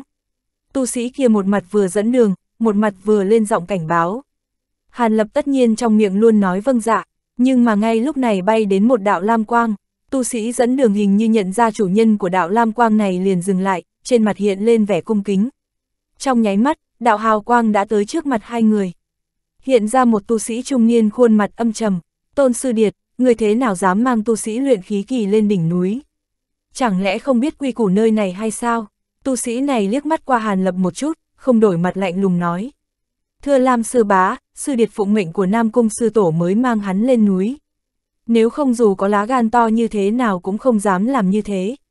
Tu sĩ trắng trẻo hình như vô cùng kính sợ người kia, vội vàng mở miệng nói. Lúc này Hàn Lập dùng thần thức đảo qua đối phương, tên này chỉ là kết đan sơ kỳ mà thôi nên cũng chẳng để tâm. Trong lòng tuy nghĩ như vậy nhưng ngoài mặt Hàn Lập làm ra bộ dáng cung kính, không dám lên tiếng nói chuyện. Nam Cung Sư Thúc muốn gặp hắn, có chuyện gì nói ra cho ta nghe thử xem. Tu sĩ kia nghe vậy thì ngạc nhiên nói, chuyện là như thế này, viên sư điệt này, tu sĩ trắng trẻo kia không giấu giếm, cảm giác việc này không có gì sai gì cả nên đem mọi chuyện của Hàn Lập nói ra lần nữa. Bạn cũ của Nam Cung Sư Thúc, trên người bị hạ cấm chế, tu sĩ kia cao mày, đôi mắt sắc như lưỡi dao nhìn Hàn Lập. Để ta xem cấm chế trên người ngươi một chút, cẩm bào tu sĩ không khách khí nói. Hàn Lập trong lòng mở miệng mắng to, tên này đúng là ăn không ngồi rồi, quản chuyện thiên hạ nhưng hắn chỉ có thể nhẫn nại tiến tới nghe lệnh. Ồ, xem ra cũng có chút cổ quái, cấm chế này dù phức tạp nhưng cũng không độc ác, xem ra người kia cũng không có ác ý gì. Các ngươi đi gặp Nam Cung Sư Thúc đi, trung niên tu sĩ sau khi nắm tay Hàn Lập khẽ gật đầu nói. Sau đó hắn chẳng quản hai người nữa, liền hóa thành một đạo lam quang bay về phía chân núi. Độn quang đột nhiên mơ hồ, hóa thành năm hình, biến mất vô ảnh vô tung. Vô hình độn pháp của Lam Sư Thúc có thể nói là thanh xuất Vu Lam thắng Vu Lam. Dù chỉ có tu vi kết đan sơ kỳ nhưng mà tu sĩ kết đan hậu kỳ cũng khó có thể hơn người. Tu sĩ kia thấy tu sĩ trung niên rời đi liền hít một hơi thật sâu, nhìn về hướng độn quang biến mất, thì thào nói vài câu. Hàn Lập nghe thế trong lòng cũng khẽ động, vô hình độn pháp, người này chẳng lẽ cùng khung lão quái ngày đó xuất hiện tại huyết sắc thí luyện có liên quan. Là đồ đệ hay hậu nhân nhỉ? Hàn Lập thấy có chút ngoài ý muốn, tu sĩ trắng trẻo thần sắc buông lỏng, một lần nữa dẫn Hàn Lập bay đi. Hàn Lập mang chuyện của tu sĩ trung niên kia quăng khỏi trí óc. Bởi vì tu sĩ cấp cao cư trú ở thượng tầng Linh Lung Sơn không có nhiều nên trừ tu sĩ kết đan sơ kỳ kia thì hai người cũng không gặp thêm người khác nữa mà trực tiếp đi lên một động phủ gần ở chỗ cao nhất của đỉnh núi. Đây chính là nơi tu luyện của Nam Cung Sư Tổ. Lát nữa người phải cẩn thận hồi đáp Sư Tổ.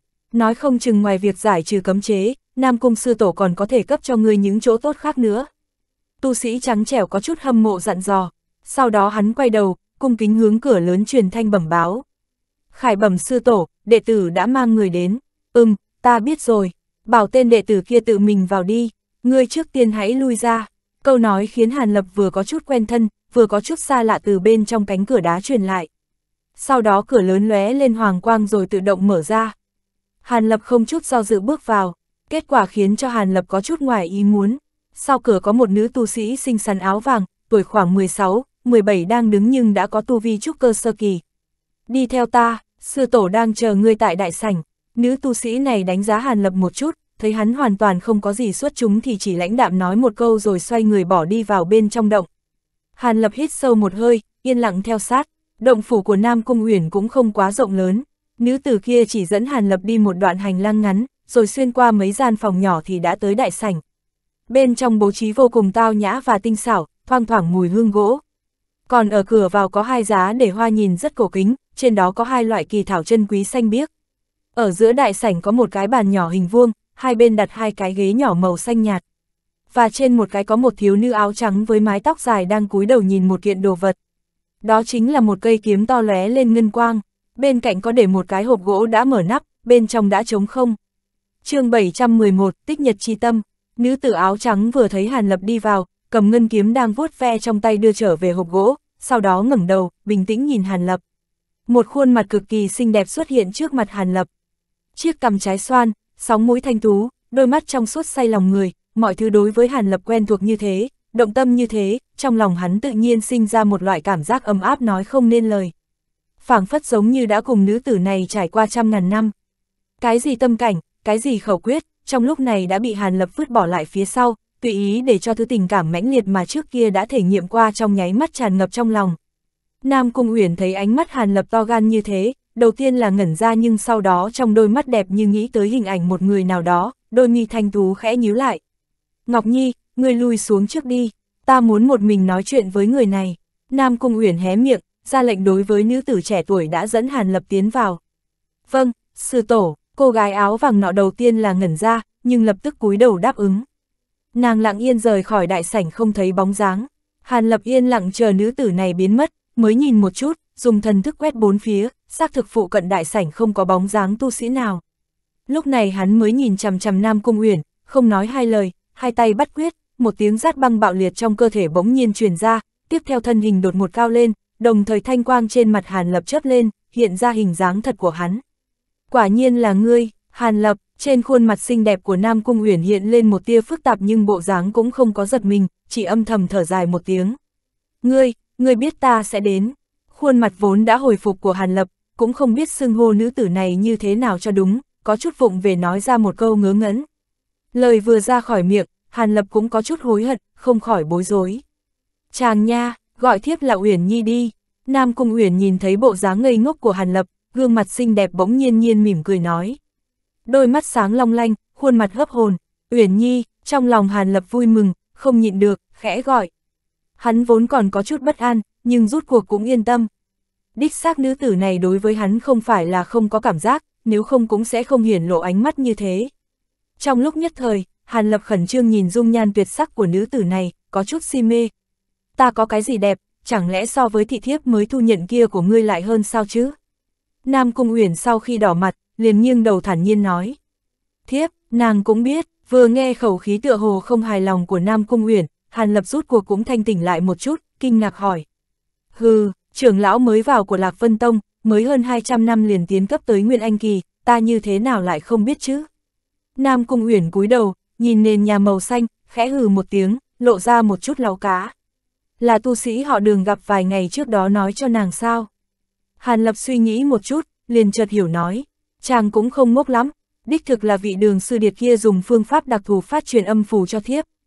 Khi thiếp nhận được truyền âm phù thì thật sự không thể tin rằng ngươi đã biến mất nhiều năm không gặp nay cũng đã trở thành tu sĩ Nguyên Anh Kỳ. Thiếp liền lập tức gọi người tìm tư liệu của Lạc Vân Tông thời gian gần đây. Trước kia thiếp đối với phương diện tin tức này không quá chú ý, mặc dù chậm một chút nhưng cuối cùng thiếp cũng biết được tình huống đại khái của chàng từ khi chàng hiện thân và trở thành trưởng lão Lạc Vân Tông, cho đến lúc chàng rời đi khỏi giao dịch hội. Mà thị thiếp kia của chàng đến nay vẫn còn đang ở Điền Thiên Thành vẫn chưa đi nữa. Nam Cung Uyển đưa tay gạt những sợi tóc mượt mà nằm ở trên trán, liếc mắt nhìn Hàn Lập một cái tựa cười tựa không nói. Ánh mắt đột nhiên trở nên vô cùng quyến rũ, lộ vẻ phong tình vạn trùng. Rõ ràng lúc ấy ta bảo nàng theo một vị trưởng lão khác quay về tông môn, xem ra có chuyện gì gây chậm trễ rồi. Bất quá vị thị thiếp này, Hàn Lập sờ sờ mũi, lộ ra một tia xấu hổ muốn giải thích. Được rồi, không cần chàng nói gì nữa, thiếp cũng không phải đối với việc nhận thiếp của chàng oán giận cái gì.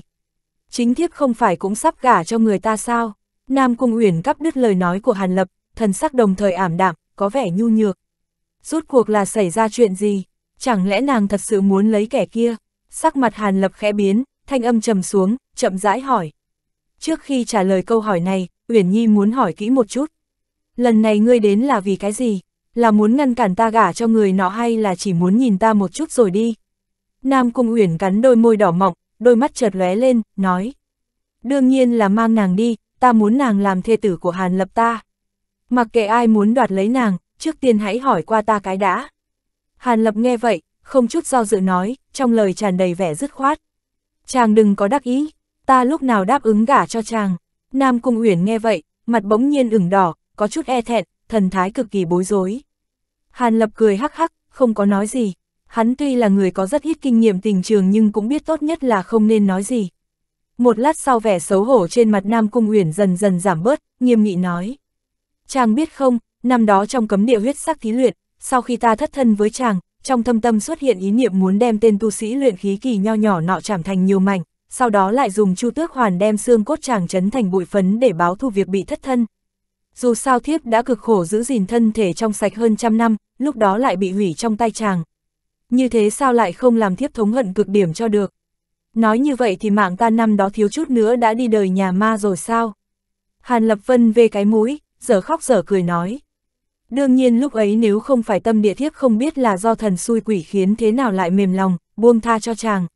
Chàng nghĩ rằng chiếm tiện nghi của một vị tu sĩ kết đan kỳ là dễ dàng như thế sao? Khi nói tới đây, mặc dù nét mặt của Nam Cung Uyển vẫn còn một tia đỏ ửng nhưng trong miệng cũng không có ý tứ tức giận oán trách.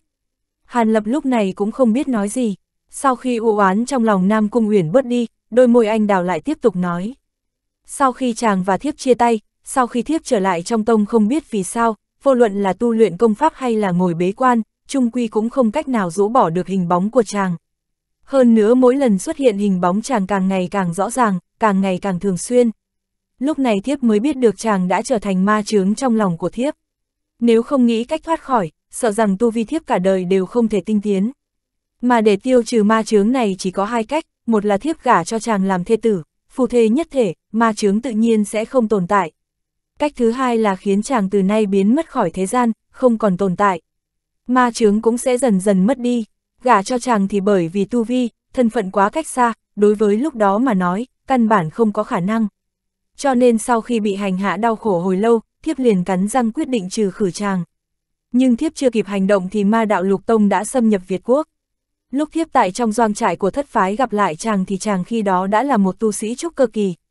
Điều này làm cho thiếp mới vừa hạ quyết tâm lại bị dao động. Dù sao nếu chàng có thể tiếp tục tinh tiến mà nói, chuyện thiếp và chàng kết thành vợ chồng cũng không phải là không có khả năng. Thì ra khi đó nàng động sát tâm đối với ta, còn ta khi ấy nhìn thấy nàng che mặt lại vô cùng hưng phấn. Nhưng bị bộ dáng lạnh lùng của nàng dội cho một gáo nước lạnh, buồn bã mấy ngày liền. Nét mặt Hàn Lập sửng sốt nhưng lập tức lại cười khổ lầm bẩm nói. Nam Cung Uyển nghe vậy, hé miệng cười, nói tiếp. Tiếp sau này vì linh thú sơn phản bội, thất phái đại bại. Các phái cũng chuẩn bị mang những đệ tử hạch tâm rút lui khỏi Việt Quốc. Là tu sĩ kết đan kỳ trẻ tuổi nhất nên thiếp vốn cũng trong nhóm người rút lui. Nhưng lúc ấy thiếp cũng có một hảo hữu ở Hoàng Phong Cốc, trong lúc truyền tin nói chuyện với nhau lại mơ hồ biết kế hoạch rút lui của lệnh hồ lão tổ, biết chàng có khả năng sẽ gặp phải hiểm cảnh. Lúc ấy trong lòng thiếp giống như có quỷ, cũng không biết vì sao trong lòng chỉ có một ý niệm chính là trở lại cứu chàng, lúc thiếp tới nơi thì đã chậm một bước. Chiến đấu đã chấm dứt, đệ tử dụ địch như chàng đã bị giết hơn phân nửa, chỉ có một nhóm nhỏ tu sĩ phá được vòng vây thoát ra. Thiếp không biết sinh tử của chàng nên mới bất đắc dĩ không thể làm gì khác hơn là trở lại tông môn, hiệp trợ đệ tử cùng ma đạo đại chiến một hồi. Kết quả bị một gã tu sĩ kết đan đánh trọng thương, khi phá vòng vây rời đi thì bị mấy tên tiểu bối đuổi giết. Chuyện tình xảy ra tiếp theo, thiếp không nói chắc chàng cũng đã biết. Trên đời này cũng không có người nào tên là Nam Cung Bình cả. Căn bản là do thiếp dịch dung cải trang mà thôi. Không phải là thiếp không muốn lấy bộ mặt thật gặp chàng mà chung quy thiếp một tu sĩ kết đan kỳ lại không thể nói với chàng là thiếp cố ý tới cứu và muốn gả cho chàng. Hơn nữa lúc ấy thiếp lại hấp thu hơn phân nửa tu vi của chàng, sẽ càng thêm ngượng ngùng nếu lấy hình dáng thật gặp mặt. Nhưng thiếp đúng là muốn đưa chàng theo thiếp về yểm Nguyệt Tông. Vốn chỉ cần chàng theo thiếp về, thiếp sẽ hiện ra hình dáng thật, tận lực hiệp trợ chàng kết thành kim đan, sau đó gả cho chàng. Ai ngờ không biết chàng thật sự tham tài hay là chủ nghĩa nam nhân quá nặng, dĩ nhiên chỉ lấy linh thạch. Điều này làm cho thiếp nhất thời cũng không có cách nào. Khi Nam Cung Uyển nói tới đây, trong đôi mắt sáng hiện lên một tia cười buồn, hung hăng chừng mắt nhìn Hàn Lập. Nhưng Hàn Lập như thế nào lại không cảm giác được trong mắt nàng cũng hiện lên một tia vui mừng. Hàn Lập hiển nhiên không biết, ngày đó nếu hắn thật sự đáp ứng Nam Cung Uyển trở lại Yểm Nguyệt Tông thì Nam Cung Uyển có thể cũng sẽ theo lời mà gả cho hắn nhưng càng có khả năng là bởi vì Hàn Lập tùy ý đáp ứng cùng nữ tử khác song tu nên thất vọng về hắn rồi tâm ma cũng giải trừ luôn. Lúc đó nàng đối với Hàn Lập sẽ thờ ơ lãnh đạm, tám chín phần là tùy ý tìm một nữ đệ tử khác để thực hiện lời hứa. chương 712, Khốn Tâm Thuật, phần sau thì chẳng có gì để nói. Ta trở lại trong tông, cũng chờ tông môn tại Bắc Lương Quốc đứng vững, lại lẻn vào Việt Quốc tìm chàng thêm một lần nữa. Nhưng tin tức tìm được thực không tốt, chỉ biết chàng tựa hồ bị quỷ linh môn đuổi giết, tình hình cụ thể thì không cách nào biết được. Không lâu sau thiếp bị người ma đạo phát hiện nên không thể không phản hồi cửu quốc minh. Sau đó thiếp cũng không có tin tức của chàng nữa, thiếp nghĩ có lẽ chàng đã bị giết. Do đó tâm ma cũng dần dần mất đi. Sau này lại may mắn ngưng kết Nguyên Anh thành công, thiếp thuận lợi trở thành trưởng lão hiểm Nguyệt Tông cho tới bây giờ. Nam Cung Uyển bình tĩnh nói. Hàn Lập nghe Nam Cung Uyển từ từ kể lại, thần sắc theo đó biến đổi mấy lần, năm đó nữ tử này vì hắn mà làm nhiều chuyện như vậy nhưng hắn lại không biết chút gì, ánh mắt hắn bây giờ nhìn Nam Cung Uyển càng ôn nhu hơn. Vậy chuyện Ngụy Ly Thần nọ là sao? Sau một hồi lâu, Hàn Lập không nhịn được hỏi, Ngụy Ly Thần, hắn là trưởng lão hóa ý môn, năm trước khi hắn xuất ngoại du lịch, trong lúc vô ý thiếp gặp được. Người này thiếp cũng không thích bởi vì hắn có thể nói là một ngụy quân tử điển hình, ngoài mặt thì biểu hiện phong độ nhưng sau lưng là một tên vô lại. Nghe nói nữ nhân của hắn có tới 7-8 người, hơn nữa thiếp còn nghe nói người này len lén tu luyện thuật thái âm bổ dương. Hắn muốn cầu hôn thiếp phỏng chừng 10 phần là không có ý tốt. Bởi vậy khi lần đầu tiên hướng thiếp cầu hôn, thiếp liền cự tuyệt. Nam Cung Uyển cười lạnh nói, từ chối, vậy sao bây giờ biến thành như vậy? Hàn Lập nghe đến đó, mặt lộ vẻ kỳ quái hỏi. Nam Cung Uyển không có trực tiếp trả lời mà đột nhiên hỏi. Chàng có biết tam đại tu sĩ Nguyên Anh Kỳ của Thiên Nam hay không? Cái này tự nhiên biết, mỗi chính ma cùng cửu quốc minh đều có một người tu vi đến Nguyên Anh Hậu Kỳ, chỉ kém một bước là có thể tiến vào hóa thần kỳ. Nếu không mấy thế lực lớn cũng không thể duy trì ngang hàng cho đến nay. Về phần cửu minh quốc thì có một đội vợ chồng Nguyên Anh Trung Kỳ tinh thông thuật liên thủ. Dưới sự liên thủ của hai người cũng có thể miễn cưỡng coi như là một tu sĩ Nguyên Anh Hậu Kỳ. Như thế nào, chẳng lẽ ngụy Ly Thần liên quan với một người trong số đó? Sắc mặt Hàn Lập âm trầm hỏi, trong lòng mơ hồ có dự cảm không tốt lắm. Không sai, vị thân thúc tổ của ngụy Ly Thần chính là một trong tam đại tu sĩ ngụy Vô Nhai. Vị ngụy Vô Nhai này thân là thái thượng trưởng lão của cửu quốc minh. Công pháp tu luyện độc đáo hiếm có, nhấc tay là có thể vô hình lấy đi tính mạng của người khác. Thần thông cực cao, hơn xa so với tu sĩ bình thường. Nam Cung Uyển thấp giọng nói, mười ngón tay đan vào nhau, mặt hiện lên vẻ cười khổ. Chẳng lẽ là ngụy vô nhai nọ làm khó nang? Khóe miệng Hàn Lập mím lại, sát ý trong mắt chợt lóe, thanh âm lạnh lùng nói. Cái này không phải, ngụy vô nhai đích xác là có nhúng tay vào việc này nhưng chẳng biết không, đại trưởng lão bây giờ của Yểm Nguyệt Tông không phải là đại trưởng lão trước kia mà thay bằng một vị sư tỷ. Tu vi vị sư tỷ này mặc dù không thấp, tham vọng rất lớn, bình thường không hòa hợp với thiếp. Mặc dù có một vị trưởng lão khác làm trung gian hòa giải nhưng quan hệ hai người thật sự rất xấu. Nam Cung Uyển mặt mang vẻ phẫn nộ nói, sắc mặt Hàn Lập trầm xuống, biết Nam Cung Uyển sắp nói đến chỗ mấu chốt. Quả nhiên Nam Cung Uyển sau khi cắn răng một cái, nói tiếp. Sau khi tiếp liên tiếp mấy lần cự tuyệt cầu hôn của Ngụy Ly Thần, không biết Ngụy Ly Thần dùng phương pháp gì đã mời Ngụy Vô Nhai tới tìm sư tỷ của ta. Mặc dù không biết hai người thương lượng cái gì nhưng gần nửa năm sau thừa dịp thiếp đang trong thời kỳ thi triển luân hồi công pháp, nàng đột nhiên ra tay chế trụ thiếp. Sau đó bức thiếp lấy ngụy ly thần, vị sư tỷ này của nàng đầu óc thật có vấn đề. Dám dùng loại thủ đoạn này đối phó tu sĩ Nguyên Anh đồng môn. Hàn lập ngẩn người, có chút khó tin nói. Chàng nói không sai, thiếp cũng không nghĩ nàng ta lại điên cuồng như vậy. Bất quá điều kiện của ngụy vô nhai đích xác cũng khó làm cho nàng ta cự tuyệt. Sau này thiếp mới biết được, chỉ cần Yểm Nguyệt Tông đáp ứng việc này, chẳng những cho Yểm Nguyệt Tông thậm chí là sáu phái rời khỏi Bắc Lương Quốc để phát triển, thậm chí nói Ngụy Vô Thần sau khi lấy tiếp liền sẽ nguyện ý thoát ly hóa ý môn, gia nhập Yểm Nguyệt Tông. Có hứa hẹn một mũi tên hạ hai con chim này khó trách nàng ta không tiếc hết thảy thủ đoạn. Thậm chí nàng ta mặc kệ thiếp có đáp ứng hay không, trước hế truyền ra tin tức thiếp đồng ý xong tu cùng Ngụy Ly Thần. Còn chuẩn bị làm khánh điển, nghĩ muốn đem việc này tạo thành việc gạo nấu thành cơm, ván đã đóng thuyền đến lúc đó dù thiếp muốn đổi ý cũng không thể làm được.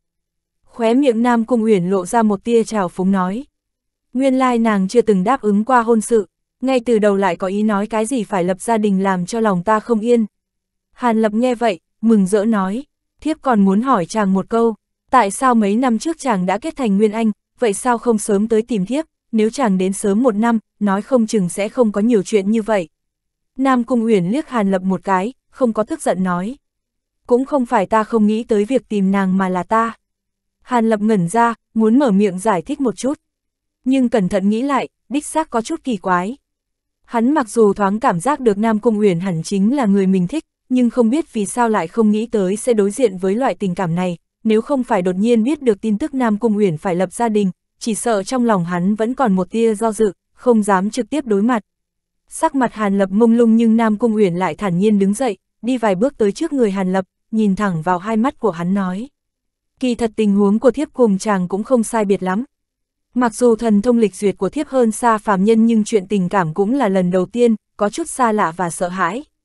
Cho dù trong lòng chàng và thiếp cũng đều lưu lại dấu ấn sâu đậm về đối phương nhưng hai người chúng ta dù sao cũng không phải là nam nữ thế tục bình thường, không có khả năng như bọn họ nhanh chóng để cảm xúc xâm chiếm. Vì để cho tâm cảnh tu luyện được tốt nhất, tu sĩ chúng ta không thể không đem phần lớn cảm xúc lãnh đạm hóa và chôn sâu trong đáy lòng, có lẽ khi tình cảm mãnh liệt qua đi, sợ rằng vẫn còn lưu lại cảm giác tương kính như tân lúc đầu. Cho nên khi thiếp biết tin tức chàng còn sống thì rất vui mừng, cẩn thận suy nghĩ hai ngày hai đêm, cuối cùng mới nghe theo con tim, chấp nhận chàng. Sau khi ôn nhu nói xong lời này, Nam Cung Uyển vươn bàn tay, cầm lấy một tay của Hàn Lập. Hàn Lập im lặng trong chốc lát, sau đó cũng không nói gì, bàn tay kia áp lên, cảm thụ sự bàn tay mềm mại mịn màng của nàng, trong lòng dâng lên cảm giác ấm áp. Nam Cung Uyển đỏ mặt, vội đem hai tay rút về, oán trách liếc Hàn Lập một cái. Hàn Lập lơ đánh cười, đột nhiên hỏi, Uyển Nhi, mặc dù nàng huyền bị nhốt nơi đây nhưng nhìn bộ dáng nàng chấn định như thế, hẳn là có kế sách thoát thân. Nếu không từ nãy đến giờ nàng cũng không có một tia lo lắng nào cả. Nam Cung Uyển nghe vậy, hé miệng cười cười, trong đôi mắt long lanh mơ hồ toát lên vẻ láo cá. Chàng nhận biết rất nhanh a đích xác, mặc dù thiếp bị giam lỏng trong động phủ nhưng biết việc này chỉ có mấy người cao tầng mà thôi, đệ tử bình thường thì không biết việc này. Nếu không thiếp cũng không trực tiếp nhận được truyền âm phù của đường sư điệt. Nhưng vì sợ thiếp chạy trốn, bọn họ hạ một vài loại cấm chế trên người thiếp. Kỳ thật cấm chế này cũng không lo, bọn họ không biết sau khi công pháp luân hồi của thiếp xa khi tiến vào Nguyên Anh Kỳ thì có thêm rất nhiều thần thông khó tin, cấm chế bình thường căn bản không giữ được thiếp. Thiếp tùy thời dùng chút thời gian cũng có thể khôi phục pháp lực. Nhưng chỉ có khốn tâm thuật mà vị sư tỷ kia hạ là thật sự khó phá giải. Loại pháp thuật này là nàng ta chuẩn bị tại trong đại điển sử dụng. Nếu thiếp vạn nhất vẫn không chịu đáp ứng hôn sự, nàng ta sẽ dùng thuật này tạm thời thao túng thiếp, đặc ý dùng chính máu huyết của mình hạ chú. Mà mấu chốt của cấm chế này là ở trên một khối lệnh bài. Không đem pháp khí này phá hủy, thiếp trong vòng trăm dặm không thể không chịu không chế. Cũng may tu vi của thiếp cùng nàng ta chênh lệch không lớn, loại không chế này chỉ có thể khống chế một ít động tác đơn giản, bất cứ pháp lực gì trên người thiếp, nàng cũng không cách gì sử dụng được. Vậy kế hoạch của nàng là? Hàn Lập tò mò hỏi. Hi hi, ban đầu là thiếp muốn tại vài ngày trước đại điển, đợi thời điểm bọn họ lơi lỏng, xuất kỳ bất ý khôi phục pháp lực, sau đó lập tức chạy trốn thật xa. Nếu không nằm trong phạm vi khống chế của lệnh bài, nàng ta cũng không có biện pháp giữ thiếp được. Nhưng bây giờ chàng đã đến, vấn đề này tự nhiên giao cho chàng. Dù sao chàng chính là nam nhân muốn kết hôn với thiếp, hơn nữa thiếp nghe nói, chàng rất nhẹ nhàng đánh bại một gã pháp sĩ Nguyên Anh kỳ cung cấp. Hẳn là có chút thủ đoạn, Nam Cung Uyển nhẹ giọng cười, thoải mái nói. Khốn tâm thuật, loại cấm chế này đích xác rất phiền toái, ngoại trừ hủy diệt lệnh bài nọ thì không còn phương pháp đơn giản nào khác. Hàn Lập nhướn mày, sắc mặt trầm ngâm lẩm bẩm nói. Không có biện pháp thì thôi vậy, hai người chúng ta rời khỏi yểm Nguyệt Tông thật xa là được. Đôi mắt sáng của Nam Cung Uyển lưu chuyển, không thèm để ý nói. Không quan hệ, không phải chỉ là một khối lệnh bài cấm chế thôi sao? Nó hẳn là trong tay của sư tỷ nàng, ta đi lấy nó mang tới, thuận tiện giúp giải thoát cho nàng luôn. Hai mắt Hàn Lập nhíu lại, sau khi Hàn Quang hiện lên, hào khí nói. Thiếp chỉ là nói một chút thử xem tâm ý của chàng mà thôi. Cũng không có thật sự muốn chàng đi trôm lệnh bài của sư tỷ. Vị sư tỷ kia của thiếp đã tu luyện đến Nguyên Anh Trung Kỳ, một thân công pháp thần thông không phải tu sĩ như thiếp có thể sánh bằng. Hay là hai người chúng ta len lén chạy đi, cùng lắm là thiếp chịu tổn hao hơn 10 năm thời gian đem cấm chế này luyện hóa. Nam Cung Uyển lắc đầu, hé miệng cười nói, sắc mặt hiện lên một tia láo cá. Hàn Lập không nói gì, liên tưởng một chút đến ngày đó khi mới gặp gỡ nàng một cô gái thông minh lém lính. chương 713, Thiết Phục, không quan hệ, thử trước rồi nói sau, nếu thật không thể thành công, lúc đó đi cũng không muộn. Có ta che chở nàng, cho dù bị người ta hạ cấm chế, ta cũng có thể mang nàng thoát khỏi. Hàn Lập cười cười, giọng nói tràn ngập tự tin, việc này, được rồi, thiếp mặc dù không biết thần thông của chàng lớn bao nhiêu, nhưng thấy chàng tự tin như thế, hẳn là có chút thủ đoạn. Bất quá chàng cũng không cần chủ động đi tìm nàng ta, cấm chế Lạc Vân Điện ở chỗ sư tỷ rất mạnh hay là để thiếp dụ nàng ta tới nơi này, sau đó hai người chúng ta mượn lực của cấm chế, xuất kỳ bất ý bắt giữ. Nam Cung Uyển nhìn hai mắt Hàn Lập trong chốc lát, tựa hồ biết không cách nào khuyên được Hàn Lập, khẽ cắn đôi môi đỏ mọng nói. Phương pháp này hiển nhiên càng ổn thỏa hơn, bất quá cấm chế trong động phủ của nàng còn có thể dùng được sao? Lúc ta tiến vào đã phát hiện hình như cấm chế có chút không đầy đủ. Hàn Lập sau khi ngẩn người, liền vừa cười vừa nói. Yên tâm, mặc dù mấy chỗ cấm chế bề ngoài đã bị sư tỷ phá hủy. Nhưng thiếp còn có một loại cấm chế bí ẩn phi thường lợi hại không bị phát hiện, còn có thể sử dụng. Nam Cung Uyển không chút suy nghĩ liền nói. Tốt, nếu đã như thế, vậy hãy tiến hành đi. Trên người ta có chứa mấy bộ khí cụ bày trận, mặc dù không lợi hại bao nhiêu nhưng sau khi bố trí cũng có thể tạo được tác dụng nhất định. Hàn Lập sờ sờ cầm nói, còn có trận kỳ, thực quá tốt rồi, việc này không nên chậm trễ, trước cho thiếp nửa ngày thời gian để thiếp loại bỏ cấm chế khác trên người, khôi phục lại pháp lực để trợ giúp chàng một tay. Chàng trước hãy bố trí pháp trận đi, Nam Cung Uyển nghe Hàn Lập nói như thế, trong lòng liền tăng thêm vài phần tin tưởng. Nhưng nếu chúng ta có thể chế trụ sư tỷ nàng, chẳng lẽ không thể lợi dụng cơ hội khống chế yểm Nguyệt Tông sao? Khi đó chúng ta cũng không cần phải chật vật chạy trốn làm gì cả. Hàn Lập sau khi ngẫm lại, có chút nghi hoặc nói. Điều này sợ rằng không được, yểm Nguyệt Tông của thiếp ngoại trừ sư tỷ còn có một vị sư huynh khác cũng là tu sĩ Nguyên Anh Kỳ. Mặc dù huynh ấy làm người không tệ nhưng khẳng định sẽ không để thiếp danh bất chính ngôn bất thuận lên làm đại trưởng lão đâu. Mà thiếp cũng không có tâm tư tranh quyền đoạt lợi, chỉ cần có một chỗ ưu tính để an tâm tu luyện là được. Nam Cung Uyển sau khi ngẩn ra, liền lắc đầu nói. Nếu nói như thế thì thôi vậy, nếu hết thảy đều thuận lợi, nàng liền theo ta quay về Lạc Vân Tông. Cho dù thế lực cửu quốc minh có lớn mạnh đi nữa, cho dù ngụy vô nhai có yêu mến ngụy ly thần đi nữa thì hiện giờ pháp sĩ xâm lấn đang xâm lấn, lão ta cũng tuyệt không có dũng khí dễ dàng đắc tội thiên đạo minh cùng hai tu sĩ Nguyên Anh kỳ nơi chỗ ta đâu. Hàn Lập gật đầu, cười lạnh nói. Sau đó tay Hàn Lập vỗ vào túi chữ vật, bàn tay vừa lật liền xuất hiện trận kỳ trận bàn. Nam Cung Uyển thấy vậy, khóe miệng mỉm cười, đi tới ghế ngồi xuống rồi nhắm mắt lại, hai tay bắt một loại pháp quyết cổ quái. Một lát sau trên quần áo tỏa ra ánh sáng màu đỏ đậm cao chừng vài thước, đem Nam Cung Uyển bao vây trong đó. Lúc này Hàn Lập cũng không rảnh rỗi, thân hình hắn lóe lên, chạy qua chạy lại xung quanh, trận kỳ trận bàn trong tay không ngừng bắn ra. Sau khi quang mang đủ mọi màu xuất hiện, chúng liền chui vào khắp nơi trong thính đường, không thấy bóng dáng. Bố trí trận kỳ rất nhanh, nhưng vì muốn tận lực phát huy uy lực của trận pháp, Hàn Lập đem uy lực của trận pháp chỉ khống chế trong đại sảnh. Tất cả đều là trận pháp phi thường bí mật, nếu không tận lực dùng thần thức cẩn thận tìm tòi, sẽ rất khó phát hiện. Trận kỳ trận bàn này đều là khi Hàn Lập đang có tu vi kết đan kỳ luyện thành. Cho dù dùng để đối phó tu sĩ kết đan kỳ còn có chút không đủ uy lực, càng đừng nói tu sĩ nguyên anh kỳ. Hàn Lập vốn không có kỳ vọng vào chúng, mà là sau khi bố trí pháp trận lại trầm ngâm một lúc, đột nhiên áo bảo vung lên, một đạo bạch quang từ trong tay áo bắn ra, xoay quanh một cái rơi xuống trước người Hàn Lập, đúng là bạch hồ ngân nguyệt biến thành. Chủ nhân, người gọi ta ra không sợ nam cung nữ chủ ghen tuông sao. Sau khi ngân nguyệt hiện hình liền cười tủm tỉm mở miệng nói.